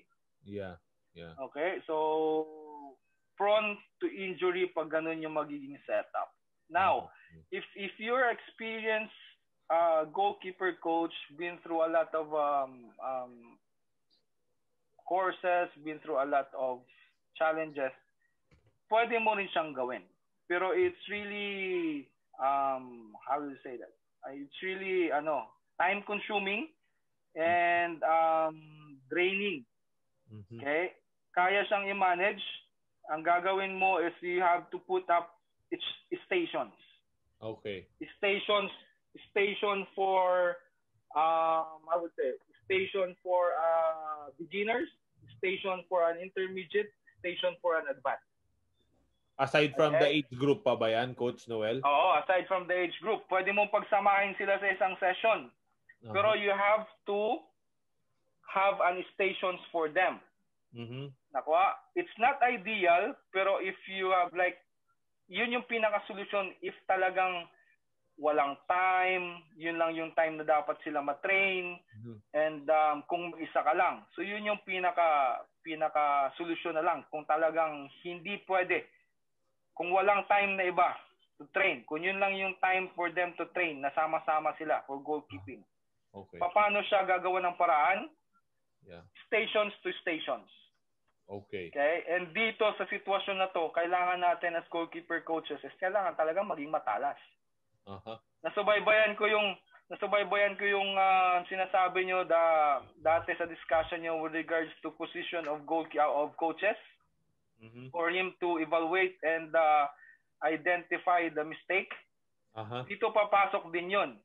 Pag meron kang ganung setup, kailangan mo rin ipwesto yung sarili mo na makikita mo lahat. Hindi ka lang nakafocus sa isang station. I see. Okay? So, ganun siya. Ganun siya. Yun.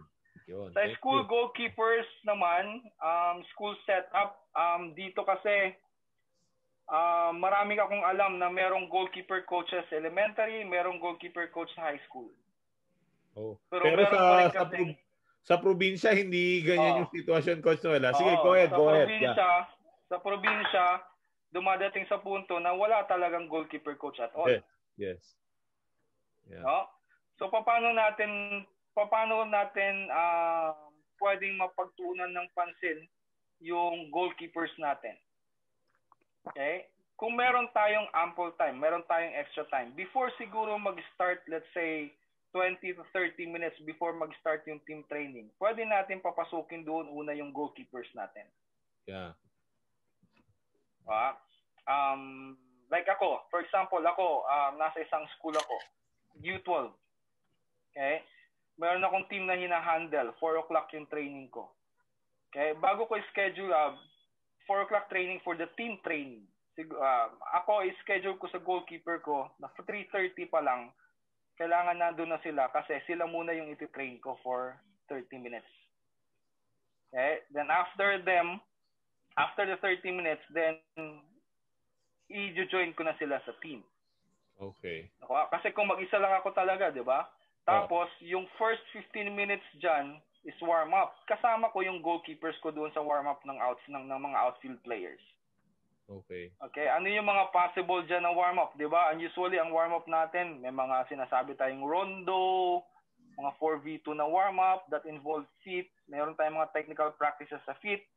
So doon, doon na natin ipasok yung mga goalkeepers kasi nga sinasabi natin kanina, may narinig din ako, sinabi din ng isang coach natin na napaka-importante ng goalkeeper na marunong maglaro sa field.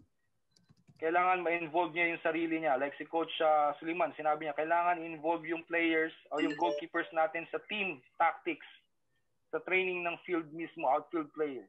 Okay?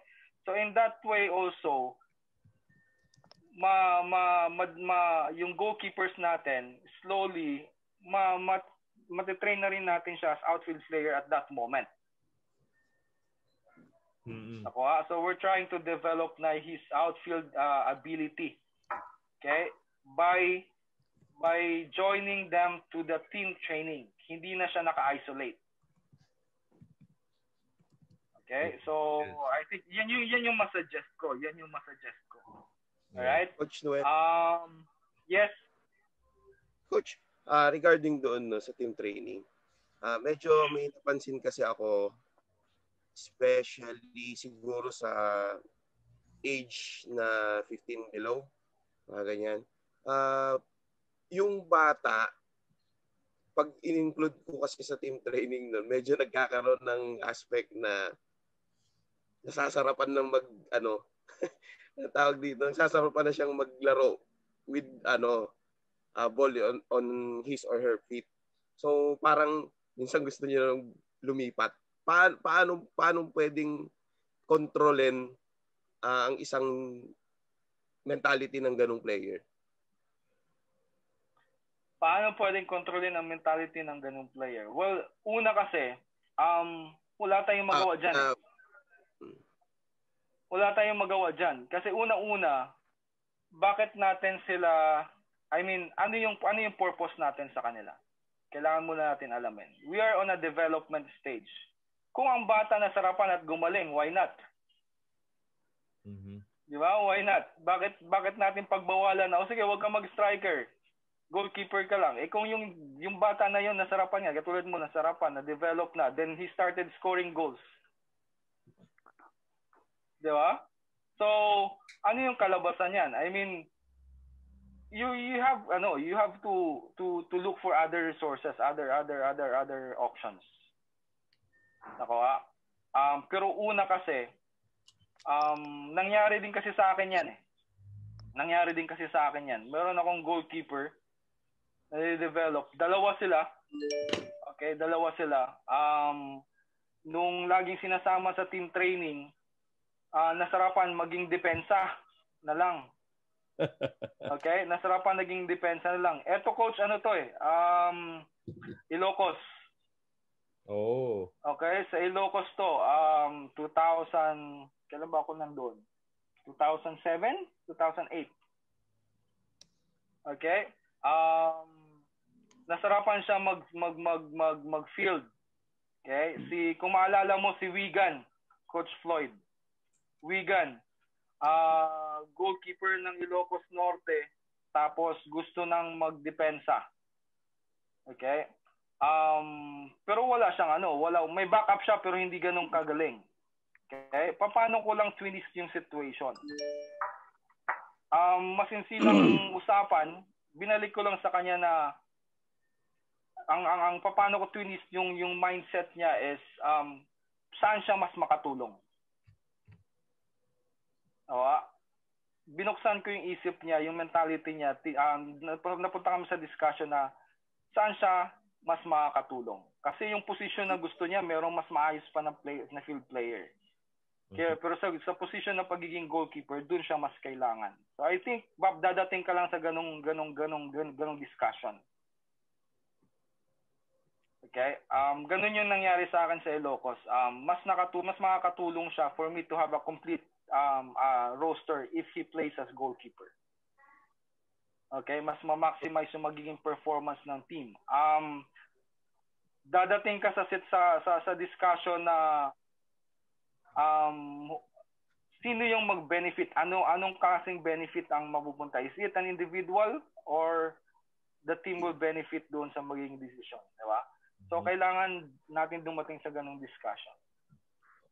Um, teka. Uh, so, so doon na papasok yung idea play, on how to convince coaches, player ano, to be a goalkeeper? Tops. Mahirap dito sa amin maghanap ng GK. Okay. Yun. Maganda yan. Maganda yan. Um, unang-una kasi, um, sa, before kasi mahirap natin itangkilikin yung ano eh, yung posisyon eh. Naka, before kasi mahirap natin tangkilikin yung yung posisyon. Kasi wala tayong masyadong mukha Okay? Pero sa ngayon kasi we can start by introducing them the sport or the position by um, introducing them the Filipino goalkeepers that we have that plays abroad. Okay? Pwede tayong doon magumpisa. Uh, pangalawa, um, pangalawa, ba, um, tawag nito, um, it's the position wherein you can use your hand and feet. So that's one advantage for you to be a goalkeeper. Okay? Yun yung pangalawa. Now, ang, ang, ang pangatlo ko, ang pangatlo ko is, yan ang posisyon na hindi mo kailangan tumakbo ng 5 kilometers, 10 kilometers. yeah? Okay? So, yun yung, I mean, sounds sounds weirdo, parang parang parang negative naman yata 'yon. No, pero for me kasi ah uh, for me kasi mas yun isang area wherein madaling ipaintindi. Okay? This is the only zone that you're going to play. Mas yeah. madali kasi yun eh. May mga bata kasi tayo na ayaw tumakbo, di ba? Especially sa early stage. Uh-huh. Okay? May mga bata tayo diyan na pagdating sa football field, hindi naman yan hindi naman yan paagad ang ginagamit, kamay agad eh. Di ba? Bukas kasi sa isip yung mag-dribble-dribble agad kasi basketball nga. Okay? So, yung yung yung biro na oh, kasi nagdi-dribble ka, mag mag-goalkeeper ka na. Pwede kasi yan ang maging isang dahilan eh. Okay? Pwede kasi isang maging dahilan. Um Ano ba ba? Um una is you have to motivate them. How? Hmm. Kung meron kang resources, siguro bigyan mo ng goalkeeping kit. Bigyan mo ng gloves. Yun. Okay? to motivate yung yung yung bata to really play the position. Okay? Make them feel that they are protected. Okay? Make them feel that um, they are important. Make them feel na we need them in that position. Yan. So I think ganun lang 'yon. Ganun lang on my on my opinion and my based on my experience. Yes. Okay? So yun lang. So I hope coach um nasagot ko kahit pa paano. Coach Don. Yes. Coach Don, okay ka ba? Okay. Yes. Oh, yon. Thank you. On a local setup, do we need to have a certain requirement for goalkeepers? Yes. Babalikan natin si Coach Joel kanina. Bakit nga naman natin na uh, itutulak pa yung bakit natin itutulak ng gusto yung putot? Nako, we're not saying na ibabawal natin siya to train goalkeeper. He's welcome. Okay? But we will put uh, more attention on the taller goalkeepers to develop. Mm-hmm. Nako, meron kasing meron kasing limitation yung maliliit na goalkeepers. Okay, maraming goalkeepers na maliit na nagpo-perform pero mas makakapag-perform ng mas maayos kung meron kang mas malaking goalkeeper. Okay? Um, may nakalimutan ko nung i-discuss kanina eh. Sige coach, pwede pa, marami tayong time. Um, with regards doon sa sinasabi nating mataas tumalon. Di ba? Mataas tumalon. Tapos, um, compared mo doon sa six-footer na less effort to jump. Uh-huh. Higher, di ba? So ano yung ano yung advantage ay ano ano yung ano doon? Um yes, yung maliit na goalkeeper nakakatalon, pero ano yung disadvantage noon? Okay? So meron kang goalkeeper na na na nakakat na, na I mean less effort to get the ball higher. Mm-hmm. Ang disadvantage kasi doon, kahit sabihin natin na malakas tumalon yung maliit, pag nagkaroon ng contact yan sa ere, babagsak yung maliit compared sa malaki. Okay? So, yes, he can perform na mataas yung talon, pero pagdating sa collision sa ibabaw on the air, babagsak syempre maliit. Hindi babagsak yung malaki. Kasi, di ba? Wala, kumbaga nasa ere, ano yun eh, pareho silang walang balance noon eh. Mas lamang syempre yung malaki sa maliit. Nako, ah, so doon papasok yun kung bakit mas advantage na mayroon tayong mas malaking goalkeeper. Yeah. Okay? Um, what would be the stage of development appropriate for Philippine goalkeeping? Mamaya, um, what should be the content of each phases in goalkeeping development. Okay? So, dadaanan na natin yan moving forward. Um, bago tayo dumiretso dun sa proper slides natin, sa tamang slides ng presentation natin, um, any question, coaches? Oh, questions. Yeah, baka may question kayo dyan. Uh, Irish, yung mga coaches natin sa ano, no? Coach, pwede ako may share lang ko konti pa about uh, Neil Atteridge saka kay Yes, ano sir, yung saka yung goalkeeper natin dati si Revs. Roland Muller. Hindi, si Rev, si Rev, Kurisma. Ah, Ref. ref.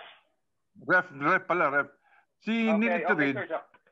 nung he was starting with the Ascas, na-interview ko yun sa London mismo, sa doon sa ano, sa Fulham Academy, nandun pa siya, sa academy pa siya. So Mhm. he said na he he didn't start as a goalkeeper when he was with, with he- when he was starting his football career. He started as a striker. Unfortunately, tuman tumangkad siya. So, hindi naman pwede na 6 6'4 tapos striker. Ang hirap maging 6'4 na striker ka. ah. So kaya this coach told him na mag-goalkeeper ka na lang kasi yung tangkad mo na.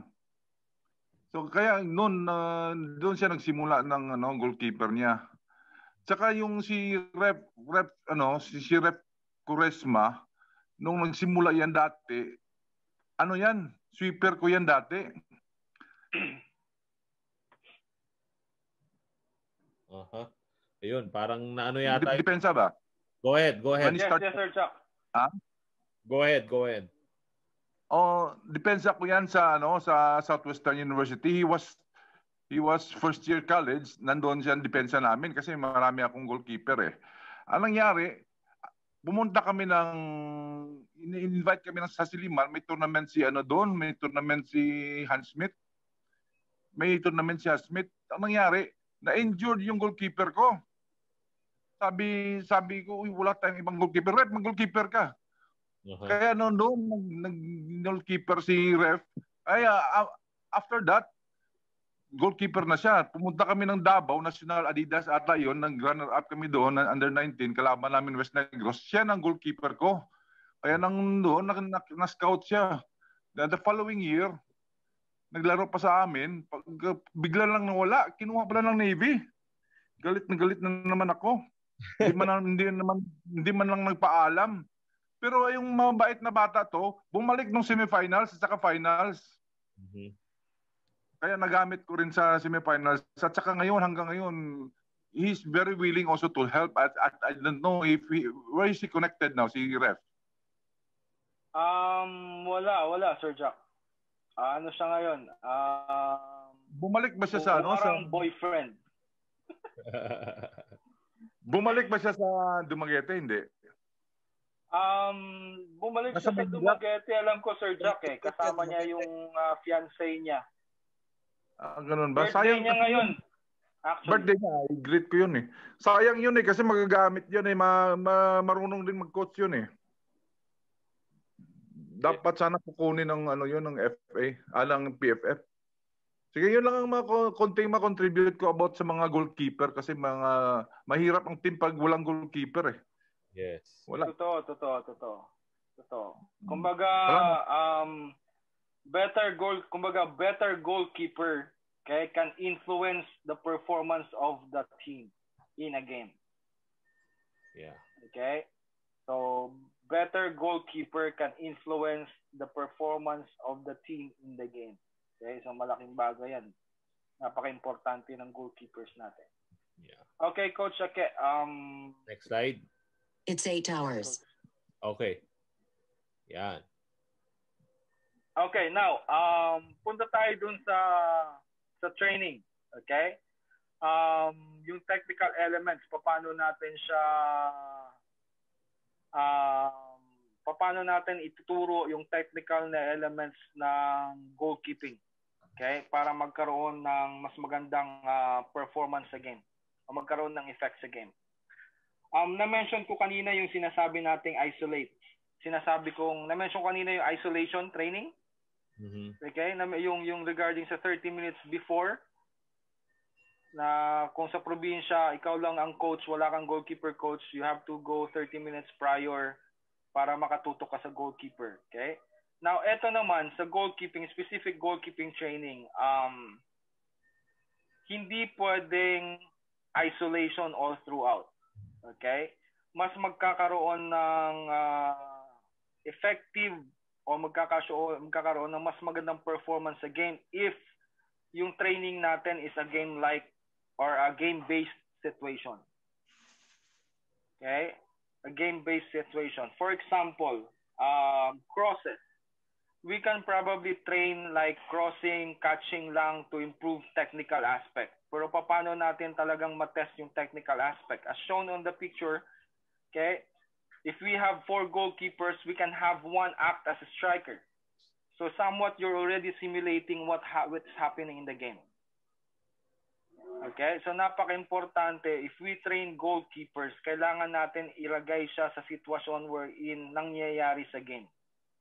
Mm-hmm. Okay? Um, in a team training, meron tayong sinasabing um, small-sided games. Diba? So prior doon sa small-sided games, we have to prepare our goalkeepers doon sa situation na pwedeng mangyari doon sa small-sided games. Okay? So hindi pwedeng easy catching lang, okay? So kailangan siguro, kung let's say shot stopping ang topic ng small-sided games. So paano natin i-prepare yung goalkeeper natin? So we have to start with simple catching. Next is we have to do um, movement, feet movement before he was he before niya magawa yung catching techniques. Mm-hmm. Okay? Or next, the progression would be you can put dummy in front para at least he will be challenged to have his vision um to have his vision challenge, I mean. Okay, magkaroon ka ng dummy in front. Okay, kung apat na goalkeeper yan, you can have those three goalkeepers in front of him. Okay, then coach serve the ball. Nakuha? And um, one also um, how to also do or prepare goalkeepers on the shot stopping. Probably uh, give him a situation wherein the ball is on the flank. Okay? And the uh, goalkeeper will stay in the post. Then ano yung situation? Ball will be cut back in front and a shot. Okay? So you, kailangan mong from that from that game-based situation, from that moment, you have to do it in training. Like staying first on the post, watching the corner, simple as watching the corner flag when you say go. This goalkeeper need to travel in the middle, at the middle to to to deal the shot. Simple way of how you prepare your goalkeepers in a small-sided games. Yeah. Hindi pwede yung ano, hindi na pwede yung ngayon yung sinasabi natin yung bola static ng bola nakatayo naka nakababa lang yung bola tapos sisipain mo lang Technique, yes. But if you wanted really to improve or increase the effect in the game, you have, you must have the, you must uh, create a, a, a program or a training where it happens in the game. Have that ball move mm-hmm. before the ball is strike. Kasi yun ang nangyayari sa game. Eh. Wala namang bola na nakapatay lang unless it's a free kick. Pero what is really happening in the game, yung bola laging gumagalaw yan. So train your goalkeepers in that manner. So so yon.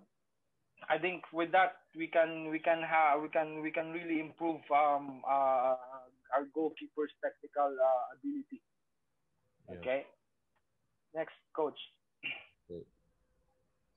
Okay, the tactical elements to increase the effect in the game. Okay, first things foremost is we really have to uh, we we have to teach our players, not just goalkeepers. We have to teach our players how to play the game. Okay? So understanding of football is very important. Mm-hmm. Okay? Kahit anong sports ka, there's always a loss of the game to follow. Okay? So ano yung mga basic rule ng isang goalkeeper? Okay, yung unang-una, kailangan malaman ng goalkeeper na meron siyang 6-second rule. Kailangan malaman ng goalkeeper ano yung role niya within that 6 seconds. Okay? After 6 seconds, ano yung dapat niyang gawin?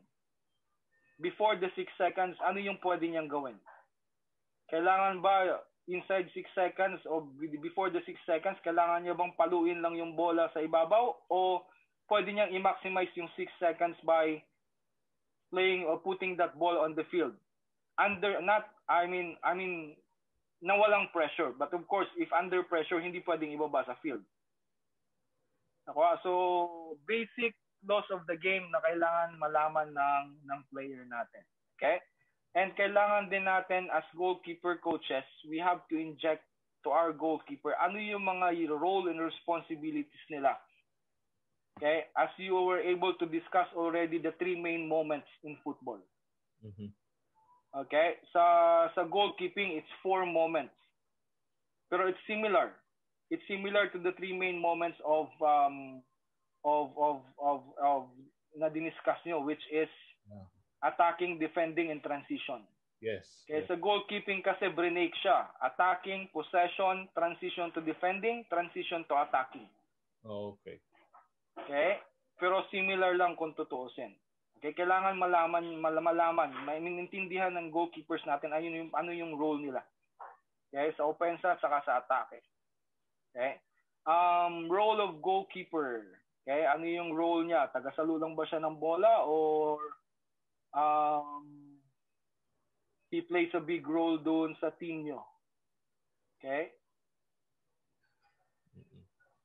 Uh, um, ano pa ba? Ano yung ano yung specific na responsibility ng goalkeeper natin sa team natin? Kailangan as coaches malaman nila 'yan. Okay? Um, ano pa ba? Um, starting position, set position, set timing or positioning. This is very important. Okay? Kasi as the game goes, yung bola, gumagalaw yan different direction. Kaya yung goalkeeper natin must uh, make sure na he is always on the right position to uh, is always in the right position in relation to the ball. Okay? Yung iba kasi, yung gumbola, gumagalaw na side to side, pero makita natin yung goalkeeper nandyan lang sa gitna. Okay. Okay? Ending up, nawawala siya sa pwesto pag nag-change yung bola. Okay? So, kailangan, ano siya, proactive. Okay? Um, cooperation and communication with defenders. Now, this is very important. Siguro, sa bata kasi, siguro 9 years old, pababa, hin mahirap pa to nila maintindihan. Okay? Pero sa U12, napaka-importante nito. Ang goalkeepers natin, kasi they're already playing 11 aside, right? Yung U12.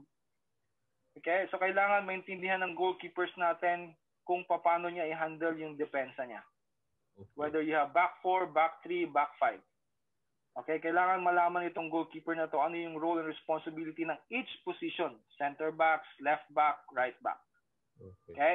Pero napaka-importante nito, syempre, matututo itong goalkeeper nito not just not just the the goalkeeping coach instruction. Also, this goalkeeper must also consider must consider must consider the team plans Mhm. from the head coach. Nakuha? Ganun yun eh. Okay? Same thing with the goalkeeper coaches. Kailangan muna syempre natin alamin yung plano ng head coach natin para yun ang may turo natin sa sa, sa, sa goalkeepers natin. Okay? Magdidepende kasi yung communication ng ng ng, ng goalkeepers natin. Magdidepende yan dun sa kung ano yung gusto ng head coach. Okay. Okay? Hindi sa kung ano yung gusto ng goalkeeper. Yeah. Okay? So, ganun siya. Kasi for for for the team to be effective tactically, kailangan maliwanag kung ano yung ah, gusto ng head coach. Okay? Organization of set pieces, very important. Okay? Because for goalkeeper to be safe on dealing the free kicks, kailangan ma-organize niya yung mga depensa niya. Okay? Sino yung marking? Okay? Ang ang gusto ba ng head coach is uh, zonal defending? Okay? Ang gusto ba ng head coach is tight marking or mix defending? Okay? Merong iba na zone, merong iba na nagta-tight marking. Okay? So, magdidepende ito sa plano talaga ng head coach. Yeah? Um, paano natin maitulong ang tactical na elemento ng isang goalkeeper para magkaroon ng mas magandang performance sa game? Hindi lang naman yan do through uh, through uh, trainings. Uh-huh. Okay? Okay, hindi lang yan through trainings. Um kailangan natin uh, magkaroon din ng uh, videos. Okay? Naka, kailangan din natin magkaroon ng videos. Example, ginagawa ko to with with with um, the Kaya um, Academy and Kaya men's team before. Uh-huh. Sa training, guma kumukuha ako ng video tacti- uh, sa technical from the start of the training going to the end. Mhm. Okay? Kung let's say um ang topic is shot stopping. So ang target ko is to make sure na goalkeeper is is in the right positioning before before um the the ball is being strike. Okay? So from the technical aspects, sa warm-up, naka-video yan. Okay, very detailed na aspeto ng uh, technical. Okay, ano yung mga pwedeng uh, ma-improve. Tapos yung pangalawang uh, stage is um, a training wherein you're preparing them to to have the small-sided games. So it's uh, more complex exercises. Okay, movement of feet, uh, footwork, Uh-huh. okay, positioning, speed, mga ganon. So doon na pumapasok, so yun ang sinang monitor. Tapos pagdating sa small-sided games, um, doon na pumapasok yung nagkakaroon ng analysis. Okay? So tuloy-tuloy lang yung training. Then after training, pinapakita ko yung video. Usually, pag umuwi ako sa bahay, nagkakaroon ako ng clips. Um, kini, kini, kini, uh, ini-edit ko. Gumagawa ako ng clip kung ano yung mga areas we're in to improve with regards to positioning. Nakuha? That is, is the footwork or the travel of goalkeepers slow? Okay? Yun yung mga kailangan tingnan. Kaya hindi siya nakapwesto ng maayos or he's not being proactive or he's always late to position himself to deal shot. So yun yung mga bagay-bagay. Okay? So um nakikita, I mean alam naman natin um yung yung video hindi mo yan madideny eh. Okay? Yung video kasi yeah, that is one ev- uh, great um big evidence na yan eh. Proof yan eh. Yeah. Na hindi nila pwedeng i-deny. Pero kung kwento-kwento ka lang sa kanila, um, pwedeng yung goalkeepers hindi maniwala. Especially goalkeepers na nasa professional level na. Oh, I see. Okay? Kasi iba yung mentality niyan eh. Nakuha? If you don't have that proof, if you don't have that evidence, dadating kayo sa punto na walang katapusang discussion. Di ba? Pero kung nandun mismo sa harapan niya, nakikita niya yung mali, may proof ka, wala na silang ibang gagawin kundi to, to agree. Okay. De, hindi na wala na magkakaroon ng disagreement tapos biglang magkakaroon na lang ng magkakaroon ng never ending discussion okay with that proof that will help um, your goalkeeper analyze and improve his performance whether it's in training or it's in the game okay um, next coach Okay. Okay, now physical elements. How to increase the effect in the game, especially for grassroots development, no? Um, at the age of 10, I think for me at the age of 10, yan yung growth we're in. May mga players dyan na biglang lumalaki, tumatangkad. I think these are the things na we have to consider. Okay? Ginagawa ko kasi siya ngayon sa academy ko, sa GK Marks. Meron akong meron akong database for my goalkeepers. Uh-huh. Okay? Kasi with this, um, dito kasi makakatulong kung paano tatakbo yung program mo eh. Kasi habang yung bata tumatangkad, it requires different approach. Pag ang bata bumibigat, it, differ, it requires different approach as well. Ako, ha? So habang lumalaki o if, if yung growth ng bata changes, your approach will will will change as well based on their growth. Okay? So malaking bagay siya. Um, now, physical test. Okay. Um, I don't know about this. Physical test two times a year, speed endurance, yo-yo jump, footwork, etc. If let's say um, sa U12 naman kasi um, with this testing hindi naman to necessary. Ako, ah. So you can do this at least two times a year. Kailan natin siya gagawin yung two times a year? Yun papunta sa competition. Ah, yung papunta sa competition. Speed endurance, yo-yo jump, okay? Pero hindi naman wala hindi natin kailangan magbigay ng test 10 years old pababa. Oo. Kasi ito naman yung mga bata na to, pagbigyan mo ng bola, tatakbo, tatakbo to eh. Yes. 'Di ba? Saan yung stage na nag-uumpisa yung um, bumababa or requires nung re- require na yung endurance ng mga bata. Yeah. Okay? Siguro pagdating ng 11, 12 kasi ito yung mga bata na nagkakaroon ng ibang ano eh, ibang ginagawa na. Let's say um yung yung yung mindset nito nagbabago na eh. Okay? So ito yung areas wherein we need to put a physical test prior to the ano, the the, the competition. Like yung U12, regional meet, district meet, palarong pambansa. 'Di ba? So before we start the camp, we can give a test. Then close to the competition, maybe a week before, then we can have another test. So yun lang siya. Okay. Okay? Um, ano yung kailangan mga test? Yung speed, yung endure, endurance, yo-yo test is for yo-yo yo-yo test is for your recovery. This is an anaerobic endurance. Okay. Okay? Then jump for your the, the power, footwork, okay? And uh, marami pang ibang test na pwede natin gawin. Okay. Um, next slide, coach. Additional for physical elements. Okay? Um, very important. I think everyone or kung aware na rin kayo, I think Coach Ake na-mention na rin to. Is it na-mention mo na, Coach? 11 plus? Ah, hindi pa, hindi pa. Specifically, hindi pa. Okay, itong 11 plus na workout, ito yung workout wherein you have to do um, regularly dynamic exercises, okay, with physical work. Okay, ang focus nitong 11 plus is stability. Yes.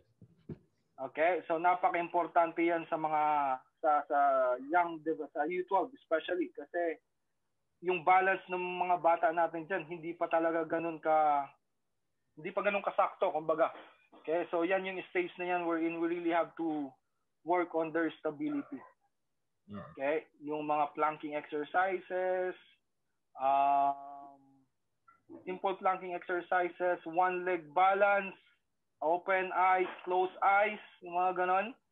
Jumping side to side. So, malaking tulong yan doon sa stability nila. Yeah. Um, running coordination, siyempre lagi natin pong ginagawa uh, sa U12, di ba? Almost every day, especially the 7, 8, 9 years old. Almost every session, we were, we're doing our coordination exercises for them, di? Um, strength training two times a week. Okay, for U16 and U18 players. Yeah, this is for a global setup, foreign setup to. U16, nag-start na sila ng uh, strength training. Okay? With with weights na yan, ha? Okay, dito sa atin, dito sa atin, hindi pa natin inaano yung U16 to have weights. Nakuha? Ang sinasabi natin is U16 strength training is always body weight. Okay. Okay, so U18 natin dito pwede na. I have goalkeepers sa U18 na talagang um, yung core exercises niya is more advanced. Ginagamit niya na na ng weights training. And at the same time, he's doing more advanced core exercises like um, the 2L sit-ups, mga ganon. Uh-huh. That, in, that, that requires a lot of equipment and lot of weights. Okay? Yun. Um, physical exercise for goalkeeper. For goalkeeper, every training. Every training is a physical work for goalkeeper. Okay. Okay? Um, for goalkeeping, um, yan yung number one aspeto na kailangan tunan ng pansin. If you don't have that uh, requirements sa physique, then that will uh, affect your performance. Okay? So yung physical training is very important for goalkeeping. Aside from technical, ah, okay? For me, physical is much more important. Why? If your if your goalkeeper is physically fit, if your goalkeeper have that um have that requirement on him to perform, I mean I mean meron siyang ganung kung meron siyang magandang physique, magandang fitness. Okay, yung technical na aspeto ng goalkeeping madaling matutunan. Okay? Pero kung ang player mo is madaling mapagod, then asahan mo yung technical na aspeto niya ma makokompromiso. Okay, so napaka-importante for me yung physical na aspeto ng, ng goalkeeper. Okay. Right? Next coach. Um, ano ba? Meron pa ba tayo? Psychological Yes. elements increase the effect in the game. Now, it's very important ha, sa pagdating sa game. Kailangan um, going to the game, not just the game actually, even in training, kailangan mentally and physically, okay, tough yung player natin. Ako ah, um, yung physic yung physically tough, yung toughness physically makukuha natin yan through consistency in training. Okay? Um, yung mental toughness naman makukuha natin yan not just on the small-sided games, on the games, on the training itself involving with outfield players, but also through discussion off the pitch. Yeah. Okay? So, doon mariready natin yung mentality ng mga players natin on how are they going to approach every situation in the game. Okay. Malaking bagay yan. Ito yung isang area na, pina, na hindi napagtutunan o hindi nagagawa okay, ng ibang coaches natin. Yung ibang coaches natin is working only on that two hours na nasa field sila. But how about those, ano ginagawa natin on our part as coaches, as their coaches on that 22 hours na hindi natin sila kasama? Okay. Okay, malaking bagay yun sa development nila. We can train them two hours sa field, pero off that, ano yung ginagawa natin for 22 hours? Okay? hindi man natin sila maupo sa hindi man natin sila iupo sa isang room to discuss but at least at least giving them an assignment for them to think and work on and for their mind to work while off the pitch malaking tulong na yan ako ha? kahit hindi mo sa kanila i-discuss yan on that day sa sunod na training nyo na magkita kayo then you can discuss that Yeah.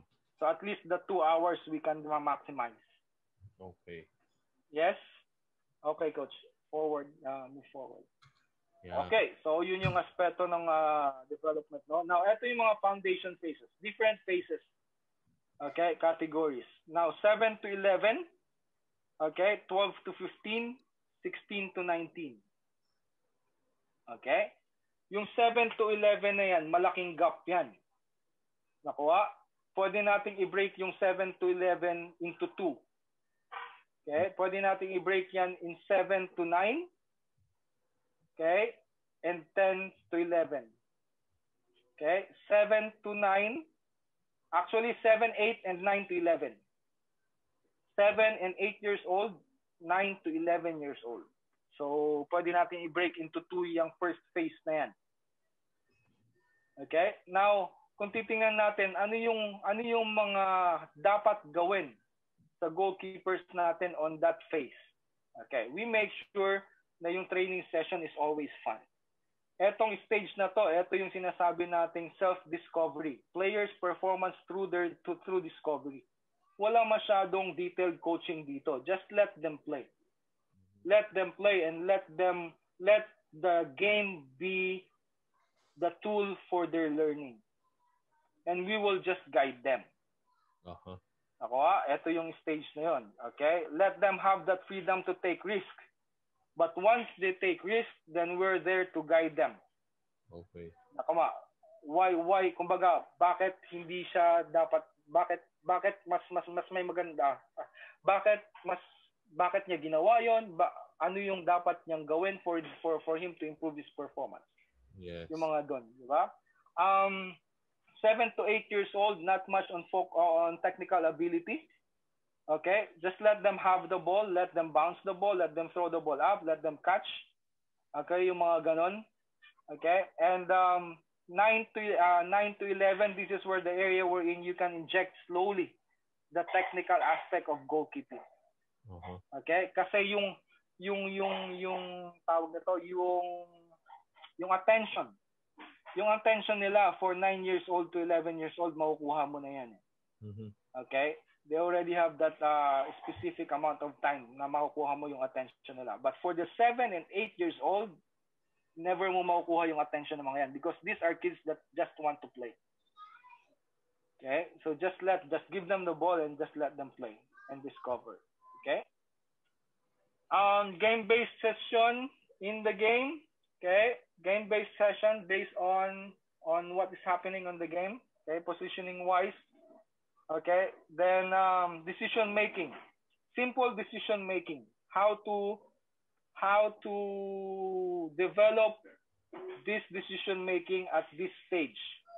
Simple throwing the ball short or long. Okay? Yung pagbato mo ng bola ng short or long, Okay, then observe their decision whether they just they are they they they they approach the ball or they just wait for the ball. Okay, those are simple decisions that um, we will be looking at with this with this age, with this category. Okay, um, ano pa ba? Uh, again, may mga naka-red mark. Okay, focus on form. Okay, etong stage na to, um, we have to focus on their form. Okay? Ano yung unang-unang form na dapat natin i-inject sa ganitong stage? Yung set position.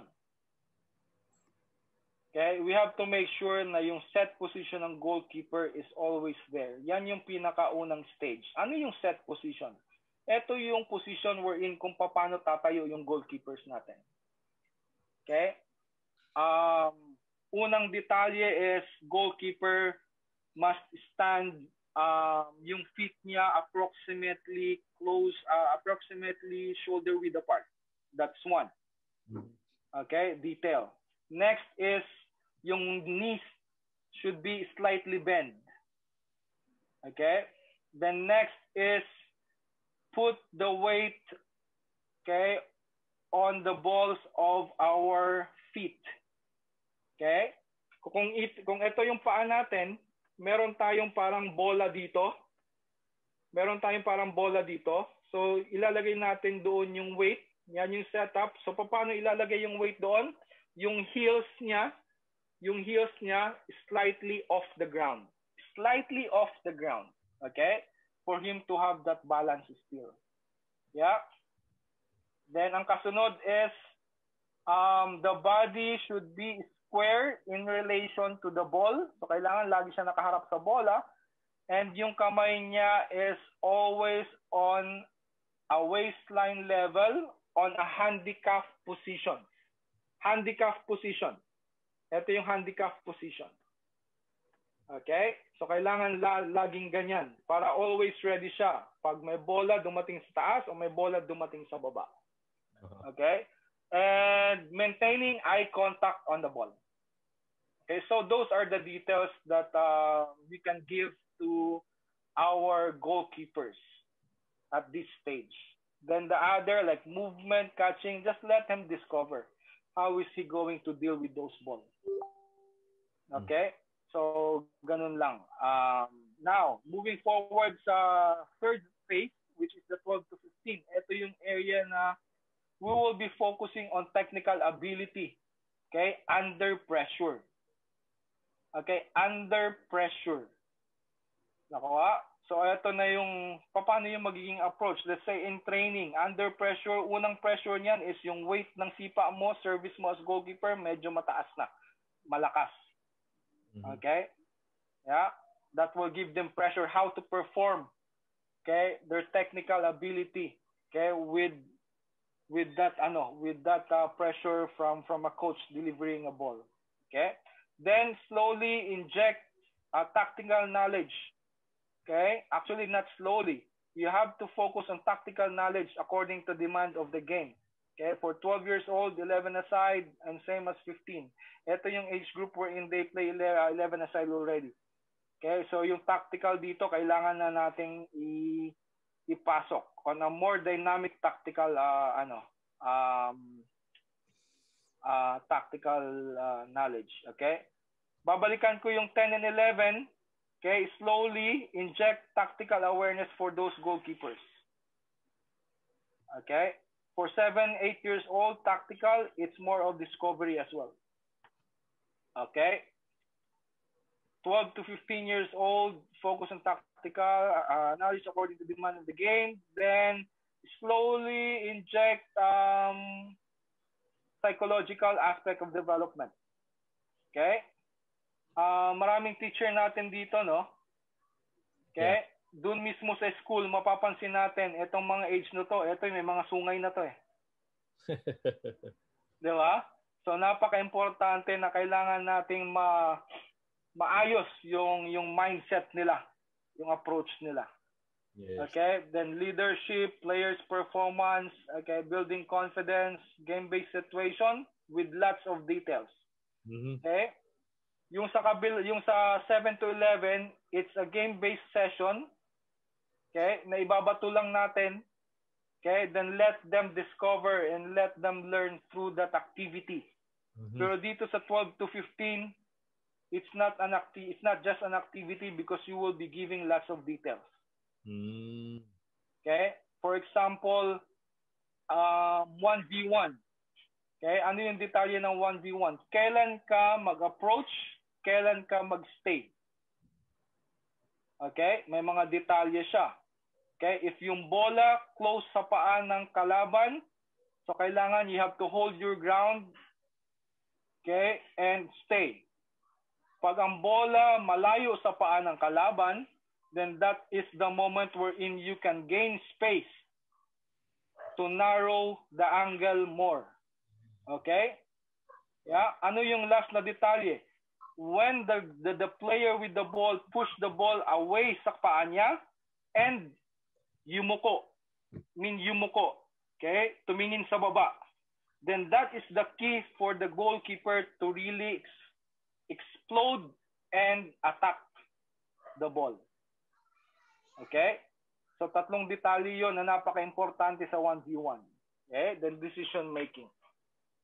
Yeah. Right? Now, next phase 16 to 19. So focus pa rin siya. Yung meron pa lahat ng ng ng ng, ng phases merong fun na involved. Now, dito sa 16 to 19, ang competition dito is mataas na na level. Okay? So it requires a lot of tactical knowledge of the game. Okay? So players' performance, we will always push more uh, up to their maximum potential. So ito yung stage na we really demand more for goalkeepers. Mm-hmm. Yeah, ito yung goalkeepers na lagi talagang under pressure. Okay? Because we're trying to build his um we're trying to build his uh, mental toughness on this part. Okay?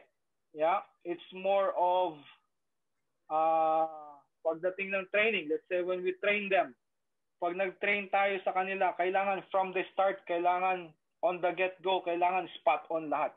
Uh-huh. Kasi 16 to 19, this is where we require consistency.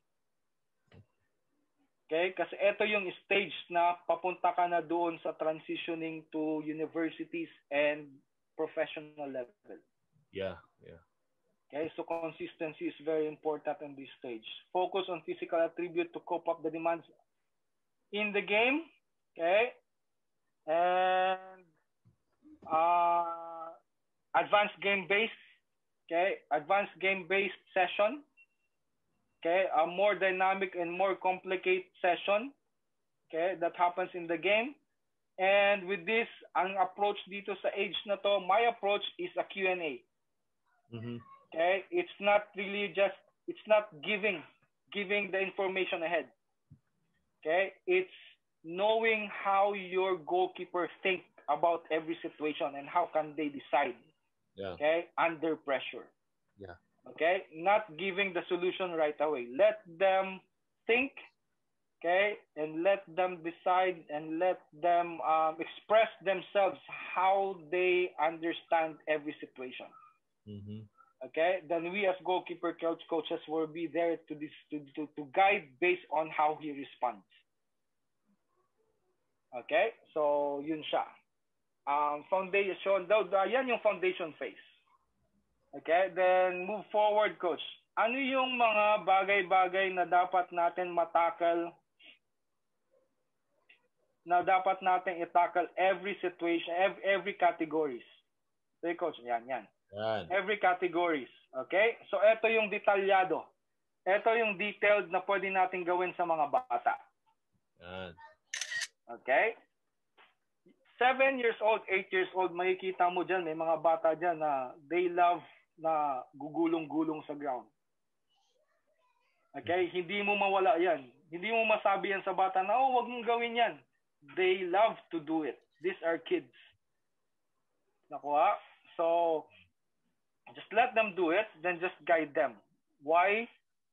Why you don't want them to do it, and why, if they do it, what, uh, paano nila gagawin? Okay. Okay? So, ganun lang. It's more of just guiding them. Okay, U7s, U8s, um, na-mention ko kanina, may nag-mention kanina, sino ba yun? Um, Coach Joel, ikaw ba yun? Um, for U7, goalkeeping, I agree with you. U7 goalkeeping don't need um, specific goalkeeper training yet. Nakawa? Okay? So what we can only do for U7s and U8, you can introduce. We can introduce goalkeeping. Mm-hmm. Okay? Ano yung pwede natin gawin sa kanila? We have to develop their coordination and their balance. Okay? And the basic form. Ano yung basic form na sinasabi? Yun yung set position. Okay? Malaking bagay na yan for you sevens na may instill natin yung set position nila. Tapos picturean mo sila. Tapos pakita mo sa kanila kung ano yung itsura nila sa picture. Pag nakita na maganda yung form, then from there, it can build up their confidence eh. Yeah. Kasi they will really look like goalkeepers. Mm. Okay? Nakuha? Basic handling. Okay? Just simple throwing the ball sa kanila. Let them have, uh, ano, um, let them catch the ball. Uh, saluin lang nila yung bola. Tapos, um, rather than rather than giving all the details, show them the picture of how to do catching, like scooping, uh, cupping, or W shape. Okay? Pakita lang tayo ng picture. These kids loves to imitate. Yun. Nakuha? So, we can teach them how to do it by just showing the pictures. Okay? Kasi kung magsalita tayo na magsalita sa harapan nila, di yan, di yan basta-basta, hindi yan magsisiknit sa utak nila. Yeah. Okay? Um, I mentioned collapsing. Okay? Um, there were U7, U8, katulad ng minention ko kanina, gustong-gusto nilang gumulong-gulong sa field. Mm-hmm. Okay? Kaya yung iba nag enjoy sa goalkeeping because of that. Okay? Now, ang tanong, coach, collapsing, how about uh, diving? Well, diving, wag. Wala mo ng diving. Pero pag nakita kayong bata, U7 sa ganito na the dive, he can do it on his own, so be it. Hindi mo pwedeng pagbawalan ay, wag yan, tangdi yan, mali yan. Hindi pwedeng ganun. Appreciate kung ano yung kaya niyang gawin. Okay? And just guide him not to be careful on doing such things. Yeah. Okay? Ito yung stage we're in. we have to rotate the goalkeepers with the outfield players. Okay?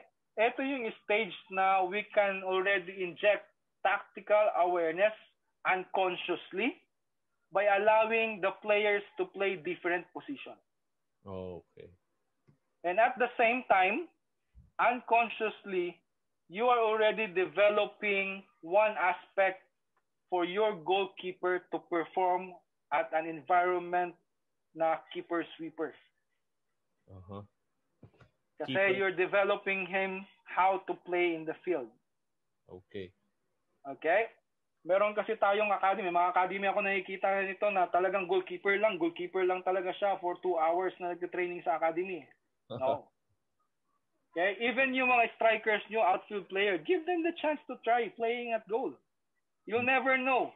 You'll Yeah. never know at this stage yung striker mo mas magaling sa goalkeeper na tinuturuan mo. You'll never know. Okay? So doon papasok yung we have to gather data. Who has the potential? Yeah. Doon tayo hahanap. Who has the potential? Okay? Now, kung yung striker na yun ayaw mag-goalkeeper, gusto niya nag-enjoy siya ng striker, so be it. You'll never know at the age of, di ba, 7, 8 years old, you never know at the age of 11, magsasabi siya, ah, mag-goalkeeper na lang ako. Oh. Hindi natin alam yan. As Sir Jack mentioned a while ago, Neil Etheridge didn't start as goalkeeper. Neil Etheridge is striker. Is striker. He's been, he's been scoring goals. Mm. Yun yung unang-unang lumabas sa interview ko with Nina. Ano yung ano yung nangyari kay ano ah, kay kay Neil? There's a game wherein yung goalkeeper nila got injured. So accidentally kasi siya yung matangkad, nilagay siya sa goal.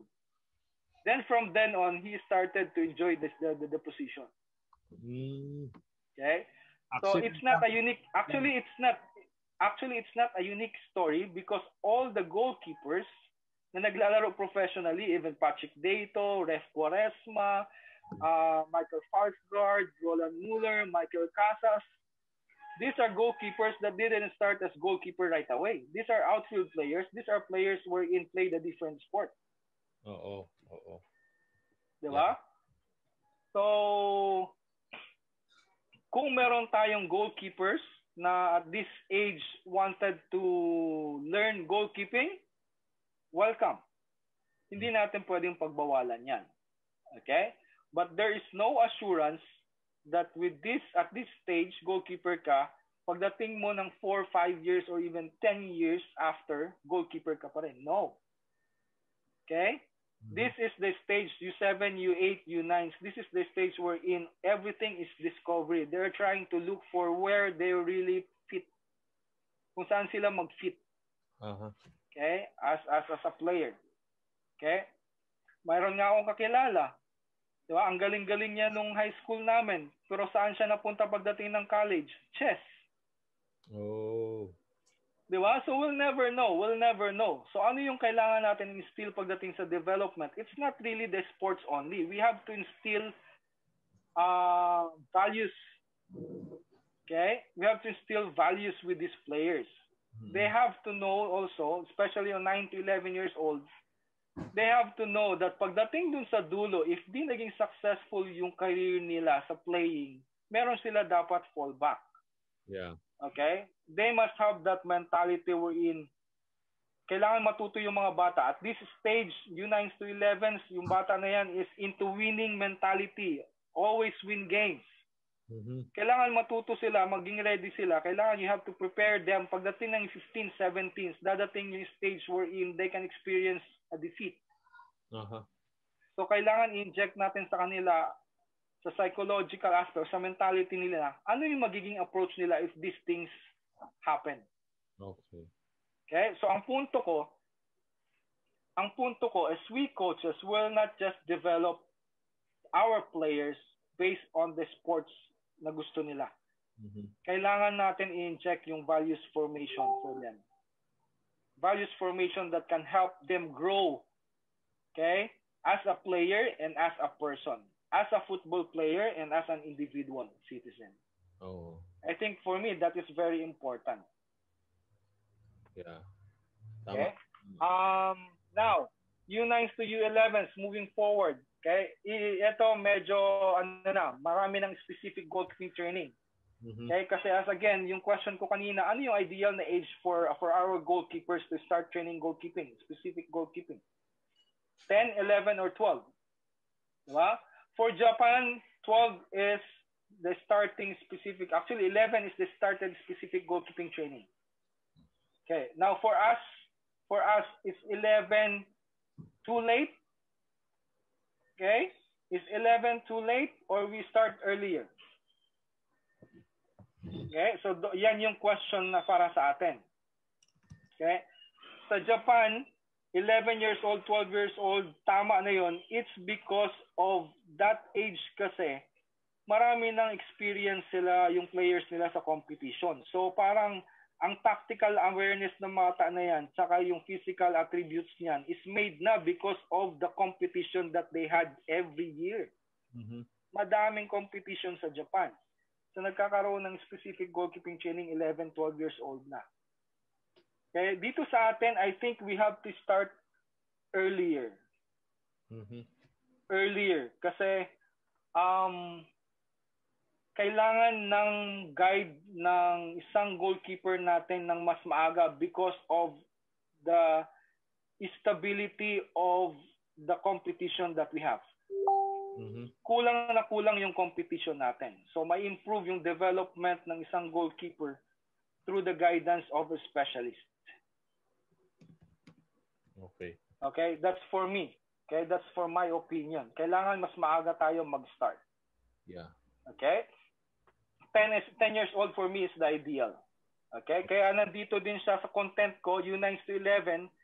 Kaya aside from the details na binigay ko sa 7 and 8 years old dito, okay, papasok na yung basic handling content, basic diving, positioning, narrowing angle, shot stopping, dealing high balls, 1v1 blocking. Okay? Bakit yung 1v1 blocking lang? Bakit dalawang aspeto kasi yung 1v1. There's blocking and diving at feet. Okay? So bakit 1v1 blocking lang? Kasi yung 1v1 diving at feet, very prone to injury yan. For 9 to 11 years old, mm-hmm. hindi pa nila kakayanin yan. Uh-huh. Okay? Blocking lang kasi in that in that way, we are trying to build up their confidence on dealing the 1v1. Okay. Advanced 1v1. Okay? Wow, so yun yung yun yung pasok dito sa U9s and U11s. Okay. Okay? Then same thing, coaches. Same thing. U9s, U11s, rotation with outfield players. Mm-hmm. Okay, very important. Kasi at this stage, nasa U12, uh, nasa grassroots level to, di ba? U12.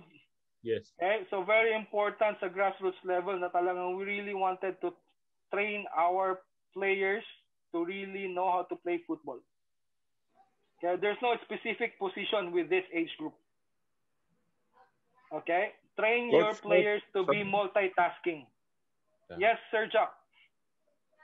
Sandali lang coach kasi may nagtatanong ba na paano tayo maghanap ng goalkeeper. Basing sa experience ko, yung pinakamadaling maghanap ng goalkeeper, yung mga batang marunong magaling mag-basketball. Aha. Kasi I have experienced that kasi may na, na-assign na trabaho ko sa Don Bosco Boys so may ang nahirapan ako maghanap ng goalkeeper kasi gusto lahat maglaro sa field. May bata akong nakita nga ayaw maglaro ng football, naglalaro ng basketball. Tapos magaling maglaro ng basketball. Sabi ko, pinag-uusapan ko, sige, hindi kita isa sa football team, pero goalkeeper. Sabi niya, oh, sige, sige. Sus, magaling naman goalkeeper. Naka, ah, hanggang college siya, naging goalkeeper. Nakatapos ng pag-aaral, naging goalkeeper. So, he, he used his talent as a basketball player sa pag-goalkeeper. So, that's one idea nga you can find great goalkeepers as basketball from basketball players. So yan lang makontribute ko, Coach. Alis na ko, Coach. Sige lang, sir. Thank you very much dyan sa insight na yan. Actually, hindi lang naman kasi sa basketball player, even volleyball players. Yeah. yeah. No? Meron tayong matatangka din na volleyball players. Nako ha? So, that is one uh, area wherein how can we scout potential yes, yes. for goalkeepers. Yeah. Okay? Um, ano pa ba? Thank you, Sir Jack. Thank Magandang you, Sir Jack. insight Yeah, yun. Sige, paalam sa inyo. Alis Um, muna ako. Hanap okay. buhay muna. Okay, Sir Jack. Now, U13s to U15s, okay? Um, this is a more advanced goalkeeping. So all the data, the, the, the content that was mentioned before, okay? Then handler technique, low and high diving technique. Dito na isasalang, okay, paano it's more of um, how to train your goalkeepers to have more um, advanced and extend diving. Tay, tulo na kalikad daw ni. Yeah. Okay, So, so dito na siya papasok. Um, ano yung difference ng U19, U9s 11s to U13s to U15s na approach? Yung U13s and U15s, ang magiging difference nila dyan is yung details. Ano yung detalye nung training mo? Okay? And yung volume. Okay? Gaano karami yung repetition? Gaano karami yung sets?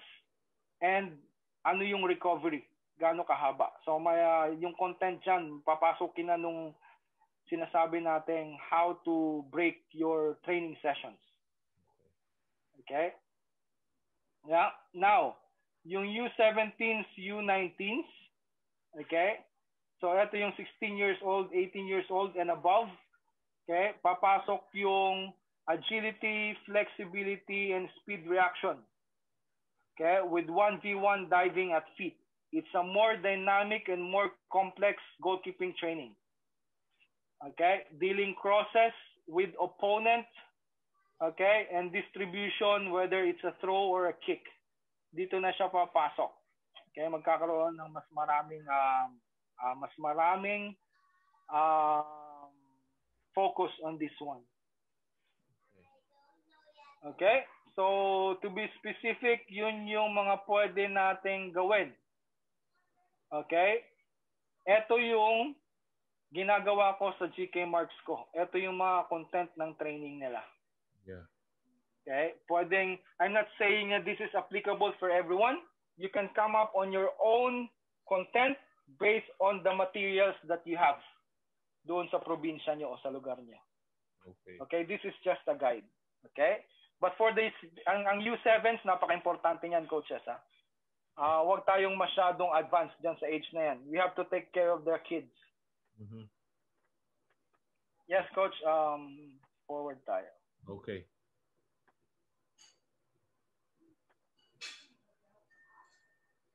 Saan click pa, coach?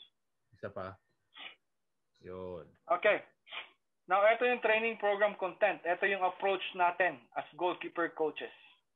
Okay? Yung makikita niyo yung arrow, yan yung training program content if you have like a school uh school ano, school-based uh, team. Mhm. Okay? Or club team. Grassroots, U12, U16, U19. Okay?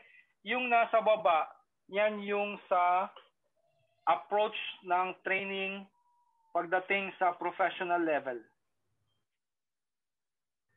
ano yung difference nila? Ang difference nila is doon sa sa age group school-based na youth teams or college, um, mas marami yung time ng goalkeeper coaches. Okay? Mas marami yung time ng goalkeeper coaches sa mga goalkeepers nila. So, etong nasa ibabaw na may arrow, we can run that session. Yan yung pwede natin maging program content. We have to do specific goalkeeping warm-up. Okay? We have to do specific coordination and agility. Okay? We have to do technical and tactical development training. Okay? This is um, an exercise, a training wherein you have to prepare or link up your training going to the more advanced or your progression or intense goalkeeping game-based drill based on the topic of the team training in a small-sided games. Mm-hmm. Okay, so kailangan from fun warm-up going to small-sided games, very important that we have to link up those training sessions. Naka? If let's say yung small size, start tayo sa ibabaw, how to make a plan. How to make a plan. We have to start on the small-sided games. We will not start on the fun goalkeeping warming up. Okay? Maraming nagkakamaling coaches na ganito ah. Nag-start magplano sa baba papunta sa taas. Mm-hmm. Okay? You can have a very good um, plan if you start from the top which is the small-sided games or the game itself. Mm-hmm. Sinasabi nga natin, yung game, let the game be the teacher.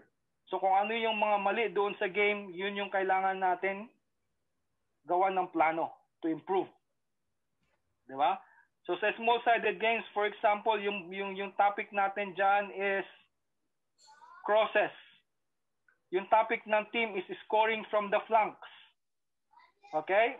So ano ibig sabihin? From there, we have to come up with a advanced training wherein um, goalkeepers will be dealing crosses, oppose. Mm-hmm. Okay? Goalkeepers oppose. Yeah? Then, bababa tayo. We have to deal, we have to make an exercise wherein we have to give confidence for goalkeeper to deal crosses and oppose but variety of variety of delivery in swing, out swing, di ba? Okay? Then pagdating dito sa baba, coordination and agility. What is the coordination and agility that requires for your goalkeeper to deal crosses? Mm-hmm. Quick feet, jumping, right?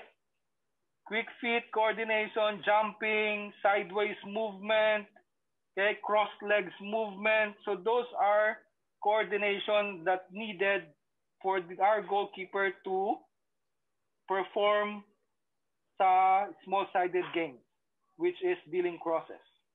Okay? Then fun goalkeeping warm-up. Ano yung pwedeng fun goalkeeping warm-up natin for the goalkeepers to be prepared on the topic? Okay? Siguro pwede natin gawin, we can start playing on a volleyball setup. Mm-hmm. Wherein goalkeeper will be moving their feet and at the same time will be forced to jump. Unconsciously, they're having fun goalkeeping warm-up related to the, the, the content of the training. Yeah, because of the jumping and at the same time, um, uh, moving their feet as, as well. Okay, we can have we can ask for goalkeepers to throw the ball up the post. Okay, or let's say we have a goal. Let's say gawa tayo ng goal. Okay, then sa goal na yan, okay, let's say, coach, nakikita yung board ko, di ba? Yes. Yes. Yes, let's say meron tayong goal. Okay, yan yung goal. Okay, you can have one goalkeeper standing on this side, one goalkeeper standing on the other side. Nakuha? You can start by just throwing the ball okay, from this side, from this side, and goalkeeper this side. You can ask for goalkeeper to throw the ball over the crossbar. They have to jump for them to catch that before they land, they have to throw the ball back again. Same thing. From this side going to this side, from this side as well going to this side. They will work together. That can be part of your warm-up. Fun warm-up, but also already involving or developing already uh, uh, goalkeeping uh, movement, goal dealing high balls, because they have to jump. Nakuha ba to, coach? Yes. Yes. Yeah. So let's say ito yung line, 'di ba? Let's say ito yung goal. Meron kang tao dito. Meron ka ding goalkeeper dito. Okay? Ito yung crossbar. So ask them to release the ball going to the other side then this player, kailangan niyang tumalon. Kailangan niyang tumalon on the air, catching the ball, but before siya bumaba, kailangan niya maibalik agad yung bola. Then this player as well, same. Okay? Slowly, slowly, okay, you're developing their movement side to side, and at the same time, wina-warm up muna yung jumping ability nila. Then, yung catching nila nakukuha mo na rin yung catching. Yung timing nila sumalo ng bola, yung pagtalon para sumalo ng bola and before going down, i-release nila yung bola. You can already, you already developing the timing of the goalkeeper. Okay, so that's a simple warm-up wherein um, you can link up to the topic. Okay, you can link up to the topic. All right? Now, Um, asa na ako? Ocho, balik natin. Ah, share screen natin ulit. Okay. Wait lang. Yes, there. Okay, so yun yung content nung um, the whole session of goalkeeping. Okay? Now, mapunta tayo dun sa baba. Yung approach ng professional goalkeeping training. From five category, naging tatlo na lang siya. Okay? Naging tatlo na lang siya. Ano yung tatlo na yan? Fun warm-up, flexibility, coordination, and agility, technical development. Pagsasama-samahin mo yan in one. It's nine hours. Okay? Pagsasama-samahin mo yan in one, uh, in 15-minute session. Because, bakit ganito? Kasi sa professional level, you will only be given a very, a very minimal or very limited amount of time with your goalkeepers. Okay? So you have to make up with a you have to do a dynamic warm up, a dynamic exercises that will involve fun, coordination, and technical work. Mm-hmm. Okay?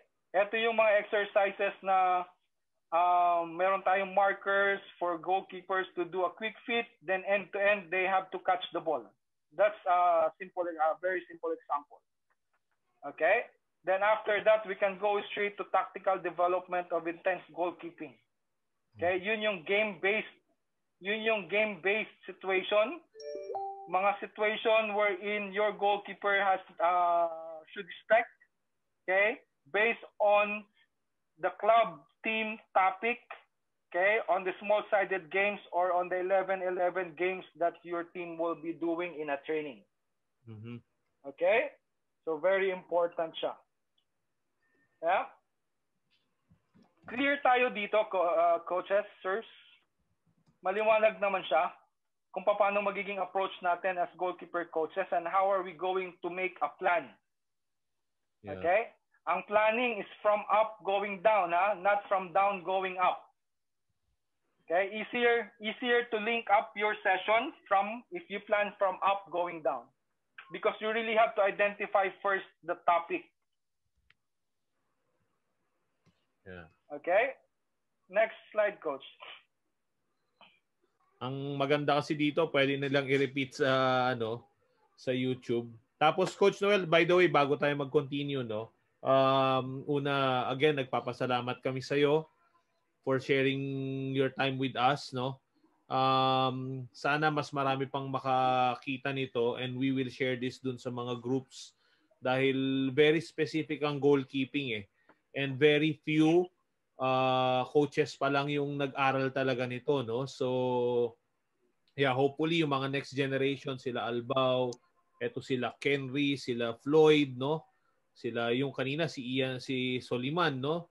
Sana mag-aral din sila ng goalkeeping dahil sa Pilipinas kailangan natin ng maraming goalkeeper, no? Sa sa ngayon, Coach Noel, ikaw yung pinaka-lead talaga dito. So, hopefully you continue na mag-ano ka, mag-produce pa ng maraming goalkeeper coaches, no? Yun. Um, batiin muna natin ulit yung mga nandito pa kasama natin, no? Si Coach Floyd, of, of course, from Pangasinan. Coach Don from uh, Cagayan. Coach Joel from San Carlos. Okay? Coach uh, Coach Noy, kasama natin dito sa Laguna. Si Rain, nandito rin. Coach Melchor from Davao. Si Irish, okay, from Agusan. Andito rin si Jerome from Gingoog, si Jessem okay, from DRFA and si Kenry Balobo. Okay, so welcome, welcome sa inyo. Coach Noel, um, yan, you can continue. Ito na yung next slide mo. Yeah, yan. Tama okay. Um, actually, ito yung ano, ito yung tricky part no. Based on the discussion na meron tayo, um ayoko naman kasing matapos lang 'tong discussion na wala tayong gagawin. Mm-hmm. No? So magkakaroon kayo ng task. And this will really help you. Okay? Kasi if you were able to come up with this, then magkakaroon ka ng sarili mong program. How will you train your goalkeeper? Okay?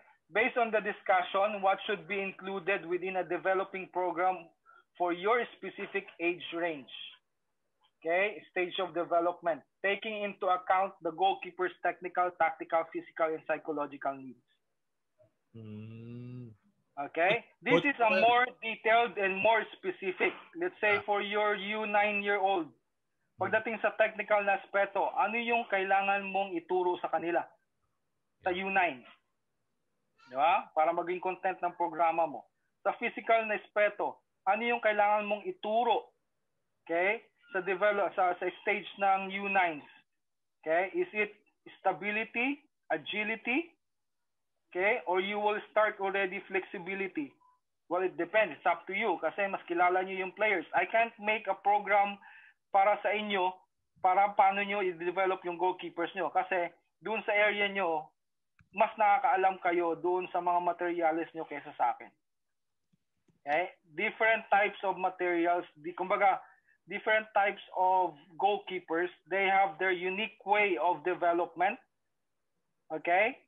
And um, mag-aakma lang din yung yung program natin depende sa pagkakakilala natin sa kanila. Okay? Sa U9, sa tactical na aspeto, ano yung sa tingin nyo kailangan nating i-develop sa kanila? Okay? And sa psychological needs. For U9s, ano yung psychological needs na dapat natin instill sa kanya at, at, at that stage? Yeah. Okay? Maybe concentration. Okay? Very important for U9s, kailangan yung concentration nandyan, yung determination, instill natin sa kanila at that stage. So, ganun yung mga example. Okay? So, nasa inyo yan, coach. That is yung, yan yung task na ibibigay ko sa inyo. Okay? And we'll see if um, may mapuntahan yung discussion natin and kung nakatulong doon sa paggawa niyo ng program. Okay? With the different stages na meron kayo. Different stage of goalkeepers. Mm-hmm. Okay? Yes. May questions ba? Coach Noel. Coach Noel. Yes. I I I I think this is your last slide dito sa topic na to, no? Tama That's ba? part one. Oh, okay, okay, okay. Sige. So, ano tayo ha? Um, anuhin ko muna, i-address ko muna yung isang question. I think I can address this, no? So, Coach Don, okay, yung video nitong ano ni presentation ni Coach Noel, you can watch it again dito sa YouTube. I'll send the link dun sa group natin and I can send it to you personally also para ma-review mo, no? Mas makakatulong din siya kasi yung explanation at saka ano, makukuha mo rin yung slides niya doon as it progress, no? Um, yon. Now, um, the same with uh, Floyd, ganun din yung request ni Coach Floyd. Um, yung slides din ni, ni Coach Noel, uh, the same, no? You can watch it again sa YouTube. And please share it to your friends. Kasi um, kanina nagdi-discuss kami ni, ni Coach um, Melchor, no? Sabi niya sa akin, this, this topic is very important, no? Being an instructor, sabi niya, sa mga C license courses natin kahit mga B hanggang A A level no ang goalkeeping laging dinidiscuss yan. Tapos iilan lang yung expert no? Sa Pilipinas si Coach Noel ang nag-aral talaga dito sa goalkeeping. So we really have to take advantage. Unfortunately siguro may mga challenges pa ngayon no? Sa pagsali dito. Um, we can send yung link ng video since I will post it naman para rin dun sa mga kaibigan natin ng mga teachers tsaka mga coaches. Dahil ang laging tanong niyan, paano ba mag-develop ng goalkeeper? Ano ba yung programa? Ano ba yung progression? Ito, sinagot lahat ni Coach Noel para sa atin. Okay?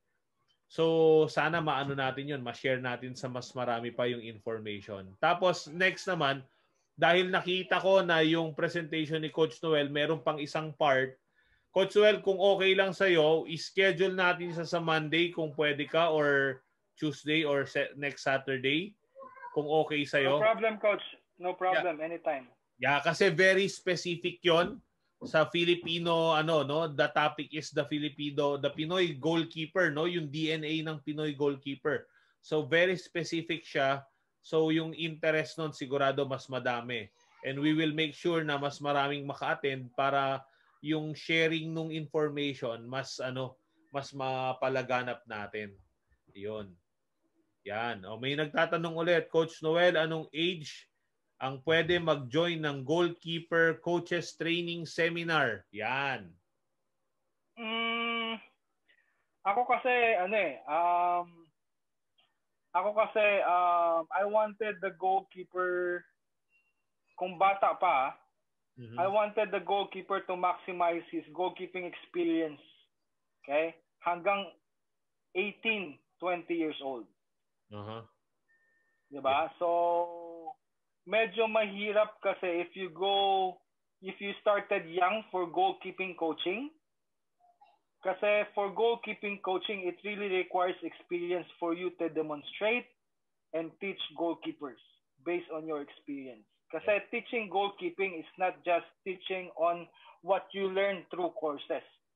You really have to instill and share your experience as goalkeeper as well. Yeah.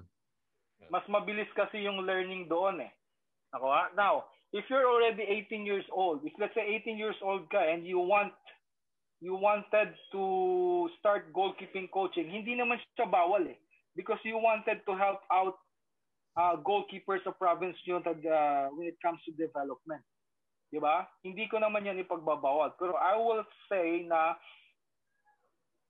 um, you have to attach yourself doon sa goalkeeper coaches.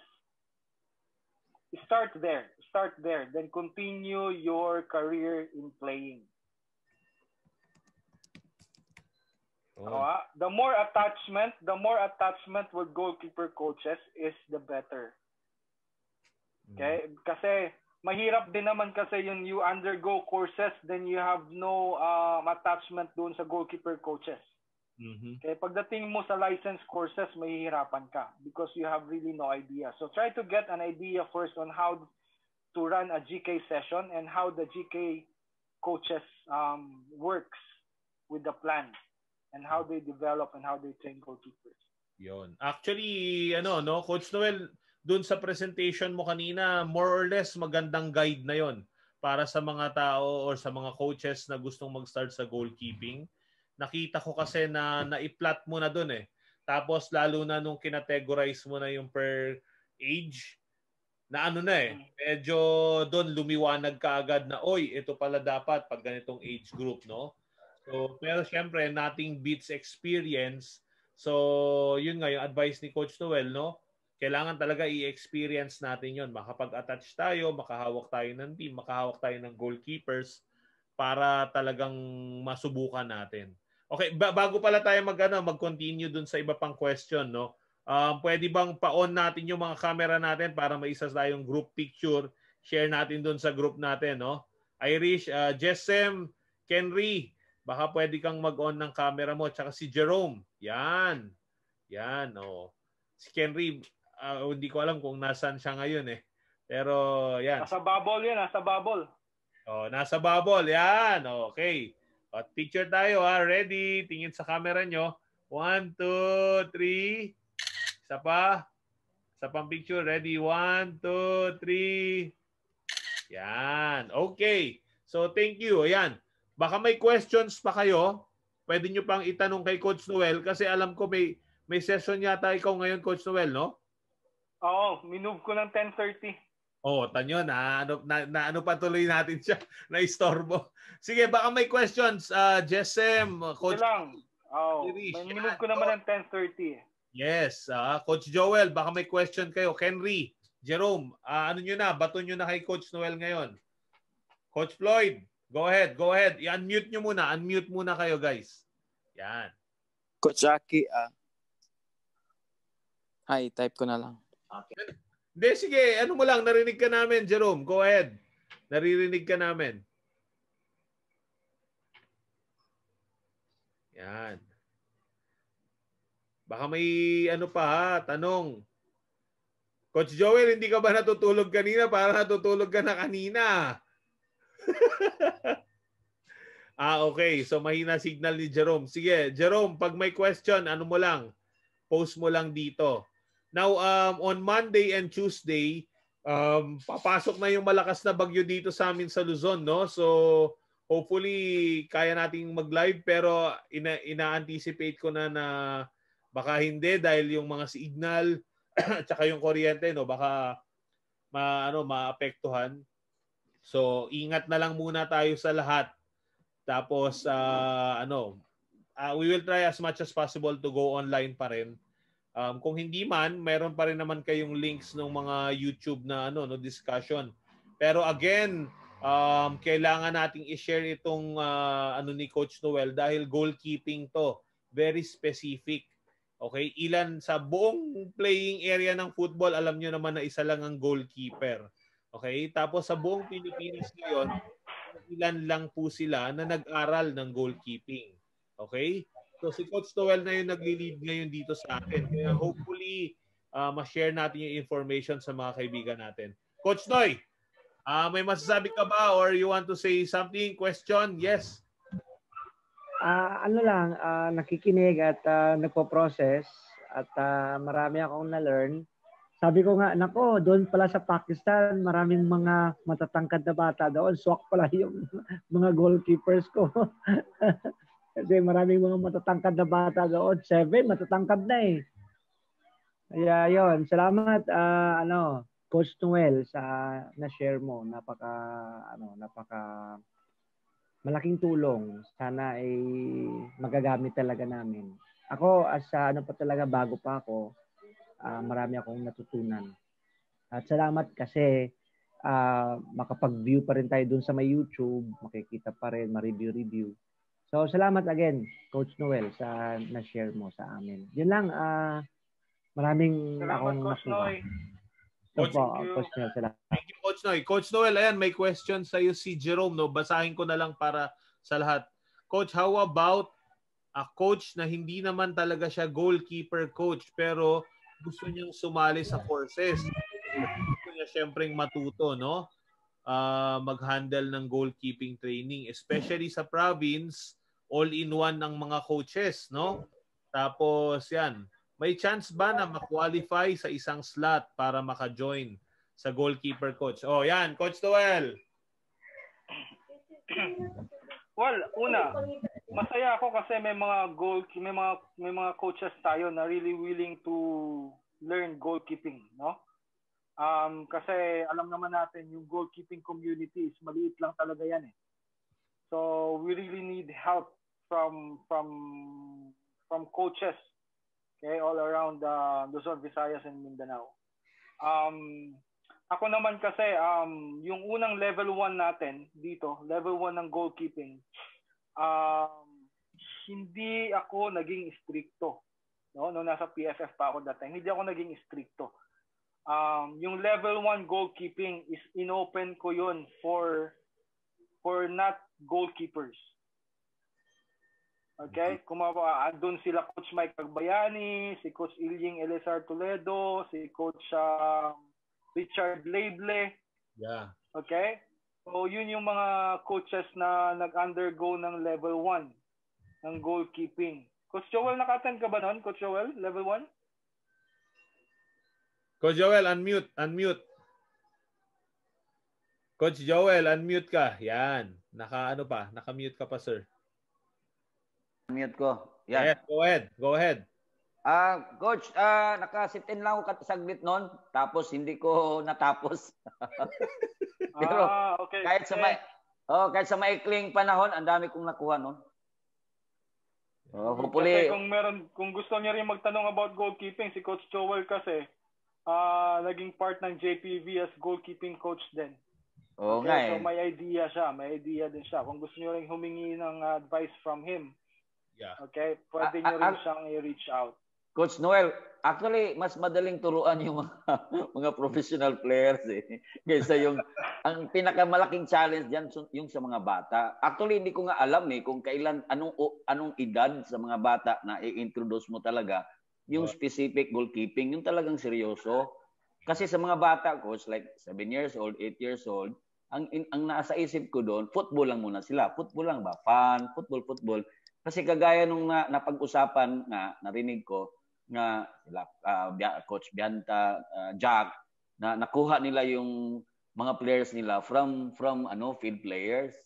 Mm-hmm. 'Di ba? Kasi parang consolation na lang 'yun na ang bata magaling mag-catch, matangkad. Okay na 'yun. Pero pagdating kasi sa football, para sa iniisip ko, uh, mas magandang makafocus muna sa technical side sa football and then later on goalkeeper na Siguro coach, magtanong lang ako, mga anong edad talaga coach na specific talaga na mayroon siyang konting konting pressure sa bata ba na magda-drop ng konti, ng ganyan. Siguro coach mga 12 years old ba, 13 ganyan. Kasi 7 years. Nga ba na ako sake, sabi ko natutulog si coach si coach Joel kanina. Eh. Oh, actually late ako coach, late kasi ako coach. Late ako kaya na, na, naalipungatan nga ako eh. Ganon si coach Joel kanina sa sofa oh. Pansin ko rin 'yun eh.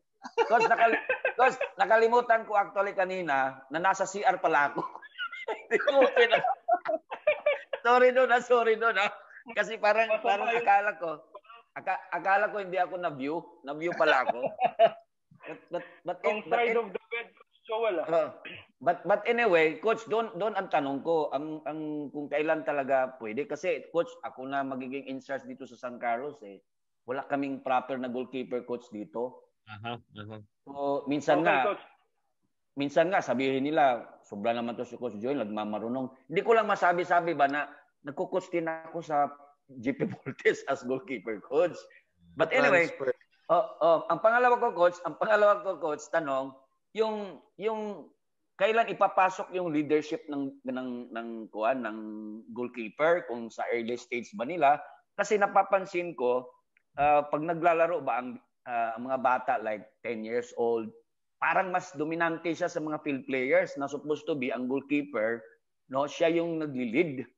No, siya yung leader. Paano ba 'yon? Kasi parang nahulog sa psychological kuan eh, needs nung ng ano eh ng uh, player kasi like yung goalkeeper dapat maingay siya, di ba coach? Kasi siya yung nakakita sa sitwasyon. Kasi minsan nakikita ko dito masyadong tahimik na yung bata. Mm-hmm.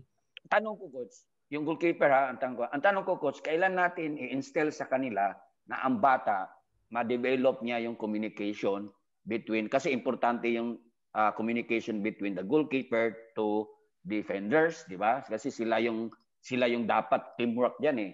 Yeah. Coach, tanong ko lang Coach Noel, an- ilang taon natin tuturuan ng mga bata paano nila ma-develop yung leadership nila sa loob? Yun. Okay, um unang-una kasi, kahit anong train natin sa bata maging leader, kung ang bata is walang knowledge about the game, mahirap. Yeah, yeah, yeah. Tama, tama. Ah, mahirap siya. Okay? So, una, um, agree ako doon sa sinasabi mo na kailangan mauna muna yung yung goal uh, no, yung outfield training. sa mga bata sa early stage, like 7 to 9 years old. Okay? And uh, kung mapapansin nyo, coaches, yung slides ko kanina, from 7 years old to to 11 years old, laging nakalagay doon, especially sa academy setup, school setup, na um, ano doon? Um, switching, ano ba yan? Ano ko sa help me on this one. Um, nakalagay doon na uh, yung out, yung yung goal, yung mga players kailangan magkaroon ng maka-experience na makalaro ng different positions. Mm. Yes.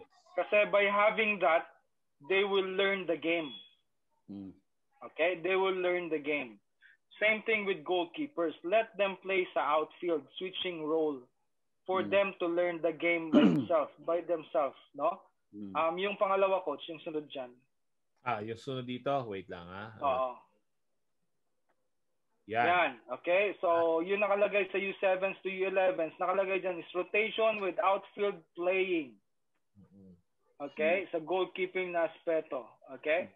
Hmm. Um, bakit ko nilagay yan? Kasi hmm. yan naman ang importante sa development ng goalkeepers. And at the same time, since this stage is self-discovery, especially U7s and U8s, okay, let them play different positions for them to discover what are the role and responsibilities of each position. Mm. Now, pag natuto sila dyan, pag natuto sila dyan, okay, now pag nilagay mo sila sa goalkeeping na role, then doon, coach, unconsciously magiging vocal sila kasi they know the game. Exactly. Uh, tama. Yes, they know the game. Now, ang question na kailan talaga tayo dapat mag-start, for me, it's 10 years old. Specific Ah, okay. goalkeeping training. 10 years old. Okay? From 10 years old. Bakit sinabi kong 10 years old? Kasi dito, eto na yung stage wherein naglalaro ng 11 aside to mga to eh. Tama, tama, coach. Football is an 11-side game, di ba? Okay? So, napaka-importante ng mga detalye dito sa 11 aside. So, lahat ng needs, handling, diving, positioning, narrowing angle, kailangan na natin dito kasi we're, your goalkeeper will be dealing in standard, uh, a standard goal, Mm. nakuha, and standard size of the pitch. Mm. Okay? So, so yun. Um, ang isa pang tanong mo, coach, is with regards to leadership, no? Babalikan ko yung leadership. Yes, coach. Um, yung leadership na yan, makikita natin sa bata yan kahit 8, 9 years old eh. Okay? As long na tong bata na to may alam sa football.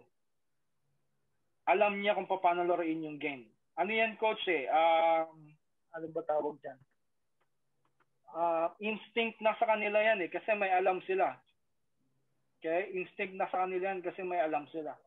Okay? So, pagdating sa game, makikita mo magsasalita at magsasalita sila. Pangalawa, um, depend as well on the environment na kinakalakihan nila. Mm-mm. Yeah. Kung ang environment nila sa family is the family allowing them to talk and express themselves, then that leadership will be instilled to them automatically. Mhm. Okay? Pero pag itong bata na to is nasa atmosphere o nasa environment, environment sa family na um, the parents are very strict in not allowing their son or their kids to express themselves, then yan yung nagkakaroon ng um, low of self-esteem na tinatawag. Mhm. Kaya pagdating sa game, tahimik. Nako ha? Pagdating sa tahimik. Now, kailan dapat natin ilagay yung leadership? Soon as the the child learn how to play football, then we have to instill leadership already. Ah, simula no magumpisa sila maglaro ng football. I mean, kahit sabihin natin 8 years old yan, 9 years old lang. We have to already start building up that leadership to them. Nakuha? Pero it's not really, yan, ano yan, ma- mahabang proseso yan, Coach Joel eh. Kasi kahit sabihin natin we're very, we're, ve- we are very particular to the leadership na ma-instill natin sa mga bata doon sa 2 hours na nasa atin sila. Pero remember, it's only 2 hours. They have 22 hours with their friends, families. Coach, coach, ah, kasi na-experience ko, alam ko ni Coach Aki ata na-experience din niya eh. Yung sa sa Fragaria Cup, Coach, naalala mo ba? Nakapunta ka, Coach, di ba? Yes, yes. Doon sa Slovakia. Nakita ko yung mga bata, 8 years old, 10 years old, Coach. Ang galing ng communication ng goalkeeper doon sa mga depensa niya. ang sarap tingnan eh kasi siya ang nag-aayos eh. So feeling ko, sabi ko, importante talaga ang leadership ng goalkeeper. Yeah. Kasi siya nag-aayos, siya nakikita kasi sa, kuwan, sa situation. Yes. So so kinokumad niya yung mga kasama niya which is ang ganda ng teamwork kasi yung yung field players niya lalo na yung depensa ni- niya talagang nasunod. Pag Oh. sinabi niyang tight, nagta-tight talaga as in ma- ma-enjoy ka sa game nila coach eh kasi hindi lang sa sa game itself pati yung communications, coordinations nila ayos eh. Yeah. Kasi siguro as early age natuturo na siguro, feeling ko lang. Saka madami ding number of matches yon Coach Joe. Ayun, yun. Sa bagay, number of matches po uh, talaga. Dami, daming tournament siguro. Na-develop na rin doon, Coach. Tama ka, Coach. May point ka. Pagka ang bata, ah, may knowledge talaga siya sa football, loss of the game, lahat-lahat na confident eh. Na parang tama yung mga sinasabi niya. tama yung mga sinasabi niya. Kaya, kaya siguro, Coach, ah, tama ka, Coach, na as early as early as young ba, mga bata, kailangan i-instill na natin yung proper football talaga. Yeah. Okay. Proper football. Yes. Coach Joel, Coach Joel, wait lang ha. May tatanungin tayo kasi uh, Kenry, Kenry, pwede ka bang mag ano, mag uh, open ng camera? Coach, coach, sorry Coach, coach, sorry. Balikan ko muna si Coach Jerome kasi mukhang hindi ko nasagot ng maayos 'yon. Oh, sige, sige. Tanong niya. Kay Kenry. Naputol, naputol ako doon sa discussion ng ano eh, yung Yeah. regarding sa ah, sa province nga, coach sa isang team na may chance ba na mag-qualify. Um, Una, kasi um, ay na-mention ko yun bago ko Coach Joel, no? Hmm. Um, meron kasing ruling yan pag nag-attend ka ng course Mm-mm. um, you have to ask permission or recommendation from your FA. Yeah. Nakuha? Um, ganun kasi yung setup ng mag-attend ng course, Coach Jerome. eh. You have to go to your FA and ask recommendation for you to attend the course. Pag binigyan ka ng recommendation, then go. Yes. Okay? Yun naman yun eh. Hindi, wala namang haharang yan if you have recommendation from your FA. So yun yung number one na kailangan mong gawin. If you really wanted to pursue uh, goalkeeping courses, okay, FIFA goalkeeping courses, license courses, kailangan laging dumaan sa FA. You have to ask your general secretary for a recommendation that you will be attending the course. Yeah. Eh, yun, yun yung madali yun. Yes, yes. Tama, tama. Okay. Okay, Jerome, ano ha, punta muna tayo kay Kenry, Coach Noel, kasi minsan lang tayo magkaroon ng ano. Kenry, um, dahil ang top, aya, ang topic kasing namin ngayon is goalkeeping, no? Pwede mo bang daanan mo kami ng mabilis, no? Um, kailan ka ba nagsimula? Bakit mo nagustuhan maging goalkeeper? Tapos ngayon na naglalaro ka na dito sa professional level, no? Dahil nandyan ka na ngayon sa PFL, eh. Yan na yung top natin dito sa Pilipinas. And I think you also played for the national team several times. Um, so since bata ka, paano mo naging ano yung maging goalkeeper? Paano ka naging goalkeeper? Tapos ano yung masasabi mo ngayon para sa mga coaches para magdi-develop na nagdi-develop ng mga goalkeepers? Go ahead, Kenry.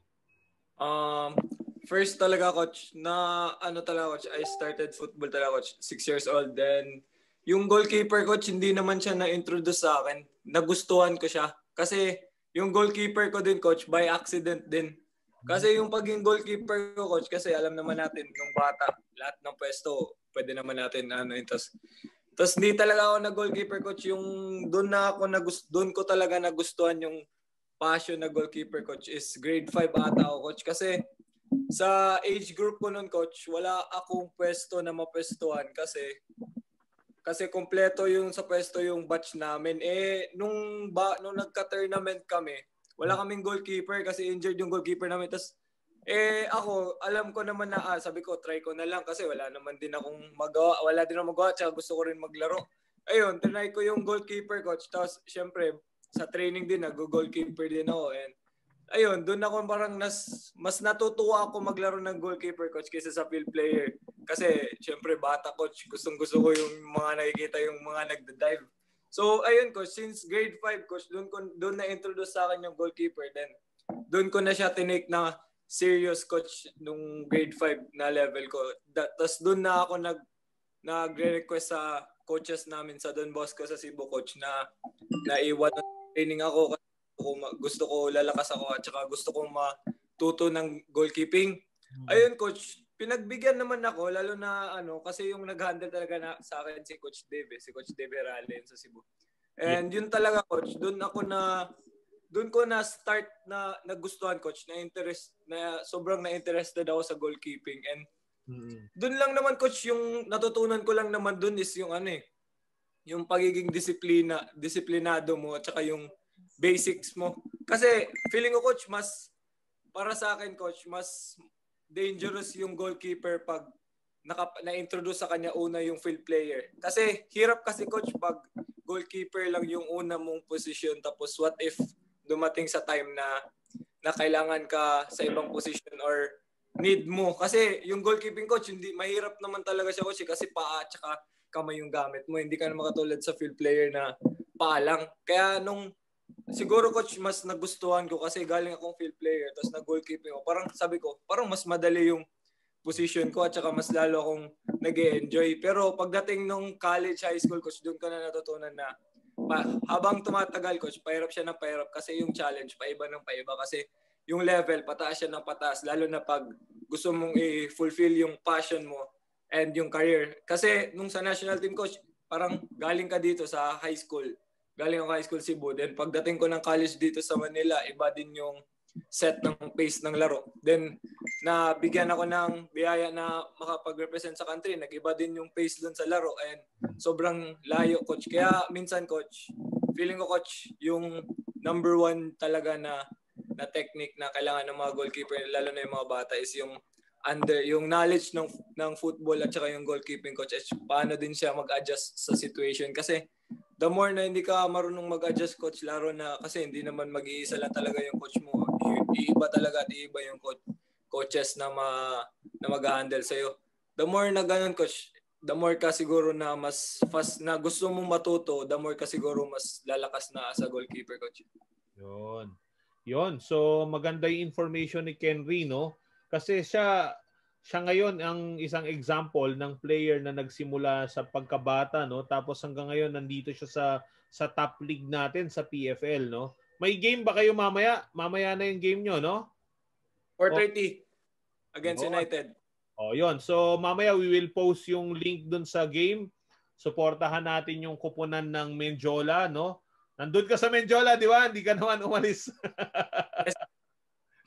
Ayun. So, Kenry, maraming salamat at uh, na, nakasali ka dito. Sana makabalik ka ulit. No? Baka may question yung coaches kay Kenry or Coach Noel, you want to say something? Jesem, baka may question. Ako po, Coach po. Coach, narinig po ba ako?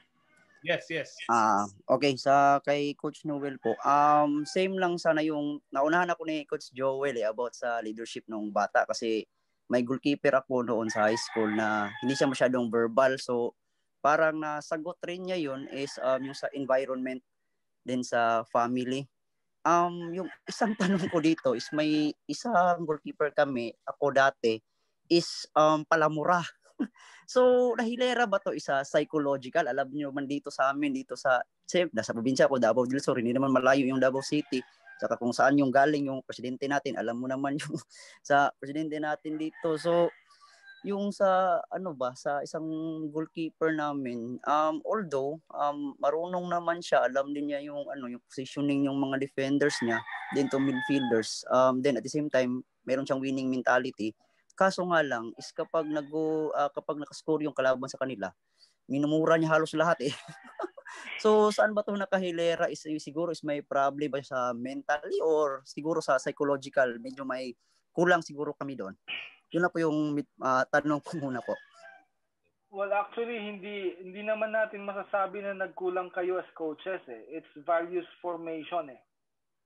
Nako, um, yun yung Opo. sinasabi natin kanina na we're not just um, trying to develop goalkeepers being a goalkeeper.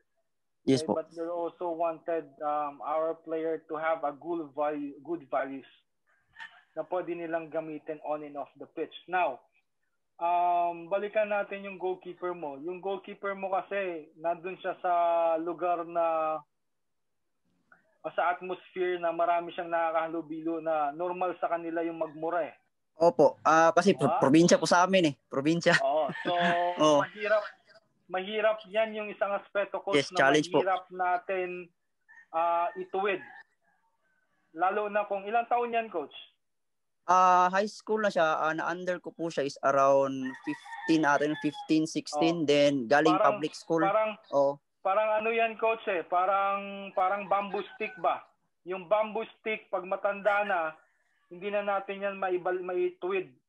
Baluktot na talaga 'yan. Nakuha? Ang magagawa natin diyan, coach, is we have to discipline the player. Pero may disiplina naman po. Ah, nakikinig naman. Ah, mabait naman kapag off the pitch. Yes, yes, coach. Yes, coach. Mm. Part of the discipline is trying to um ah, tawag nito, subukan nating isama sa disiplina yung pagmumura niya. Okay? Oh. Ah, sa training, siguro subukan muna natin sa training. Every time na nandyan ka, pag narinig mo siya magmura, meron kang ipapagawa sa kanya na assignment. Not necessarily a punishment, but an assignment for him to comply. Opo, for him opo. to comply. Kuha mo lang. Diba? Mhm. Opo. So, ganun. Kung lagi, kung lagi mo na siyang gagawin sa gagawin, okay, later on, magkakaroon, kung talagang seryoso siya sa development niya, and kung seryoso siya na meron siyang gustong marating, then yan yung isang area na kailangan niyang baguhin. Uy, no. Seryoso naman yung batang ganun. Kailangan, maano yan, kailangan manggaling sa kanya yung ano eh, yung, paano ko ba sabihin to? Kailangan manggaling sa kanya yung, yung initiative. Okay? Kailangan manggaling sa kanya yung initiative na kailangan niya mabago yung ganong behavior. Okay? And um, I think if you can set uh, rules sa team mo, coach, um, makakatulong yan para mabago mo yung bata. And when we set rules, kailangan consistent siya. Okay? Kasi yun yung target natin eh. Kasi kung sa sa atin mismo may merong in- inconsistency, then magkakaroon ng question yung mga bata about dyan sa rules na yan. Okay? So, so yun sa coach. Pero mahirap din coach. Baka mamaya kasi, oy, wag kang magmura. Tapos mamaya marinig tayo, nagmumura din. Di ba? So, ganyan yun coach eh. Mahirap yung sabihin natin na, oy, wag kang magmura o bawasan mo yung magmura para maririnig din tayo mismo nang gagaling din sa atin yung cursing. So, um, setting by example is one way of um, working on the values formation of, of, of Oo nga naman po. Oo. Mahirap Yun yun sa probinsya. Opo, salamat po. Okay. Um, anyway, uh, time ko ngayon is 9.40. Uh, I think Coach Noel will have a session later dun sa ano niya no sa students. So we have to cut na for today. Okay, To- total magkakaroon tayo ng part 2 with goalkeeping. Um, let me again say thank you to Coach Noel Marcaida. Coach Noel, maraming maraming salamat sa iyo sa pag-share mo sa amin, pagbigay mo Thank ng- you, Coach Noel. Ha? Thank you, Coach Noel. Maraming salamat sa iyo, Coach Noel. Ha? You're welcome. Yan. Yan. So maraming salamat din sa mga kasama natin, no, yung mga nauna kanina sila Coach Melchor, sila Bombet, no, may mga work na yata sila Patrick. Yan. So Coach Joel, thank you, Coach Noy, Jessem, Coach. Thank you, thank you. Don, yan. Floyd. ah, Thank you. Sophie, salamat na. Jerome, thank you very much sa inyo. Um, huling picture na lang tayo bago tayo mag-end. Ah, open niyo yung camera niyo tapos huling picture natin. Yan, okay. Okay. Yan, oh, ready, ready. Tingin sa camera niyo. Ha? Ready? One, two, three. Isa pa. One more. One, two, three. Yan. Okay, so thank you very much, Coach Noel. Any Maraming salamat. Maraming Coach- salamat. the morning session. Ah, We would like to go. Thank you po, thank you. Thank you very much sa ano, thank you very much sa opportunity na binigay mo to share the sports na uh, the, the position na um tinitake for granted. Yes. No, Coach Floyd, no. Uh, no? Um, it's a very important uh, position na na-mention nga ni Coach Joel kanina, yung importance nitong position na to. And hindi siya pwedeng uh, baliwalain. Tama. Okay, very detailed. It's a Apo. very specific position. Yes. Um, na kailangan talagang uh, pagtunan ng pansin. And hindi siya kayang gawin ng isang tao lang. Yeah. Okay? Kailangan ng tulong sa lahat-lahat ng mga coaches. Okay? Whether you're a goalkeeper coach or not. Okay? If you're into having a good de- uh, goalkeeping development that will help our Pinoy, Pinoy goalkeepers yeah. to to be successful uh, on their career. Okay? Moving forward, please um, share also your knowledge. Uh, don't forget, I mean, don't hesitate to message me. Okay, everyone is welcome. Just um, a sim uh, one one message away. Okay, send lang ho sa messenger ko. Okay, you can also reach out to my GK Marks uh, FB page or GK Marks IG, yeah. Instagram. Okay, so pwede po doon mag-message. Okay, um, if you want to, if you want to ask for uh, uh, a program, hindi ko po kayo mabibigyan ng program, pero if you can sit down with me and give me uh, views on the players that you have, then maybe we can start from there and give you or help you make your program with goalkeeping. Galing. Okay? Meron, meron kasi mga humingi sa akin ng program, eh hindi ako nagbibigay kasi sabi ko, Oo. mahirap, mahirap magbigay ng May, may, programa. ba- hindi may bayad na alam yan, coach. kung- May bayad na. Hindi naman, hindi naman coach. Hindi, wala walang bayad 'yan. Tulong 'yan. Mahirap kasi yung ano, mahirap kasi yung iglalatagan mo ng programa eh Ah.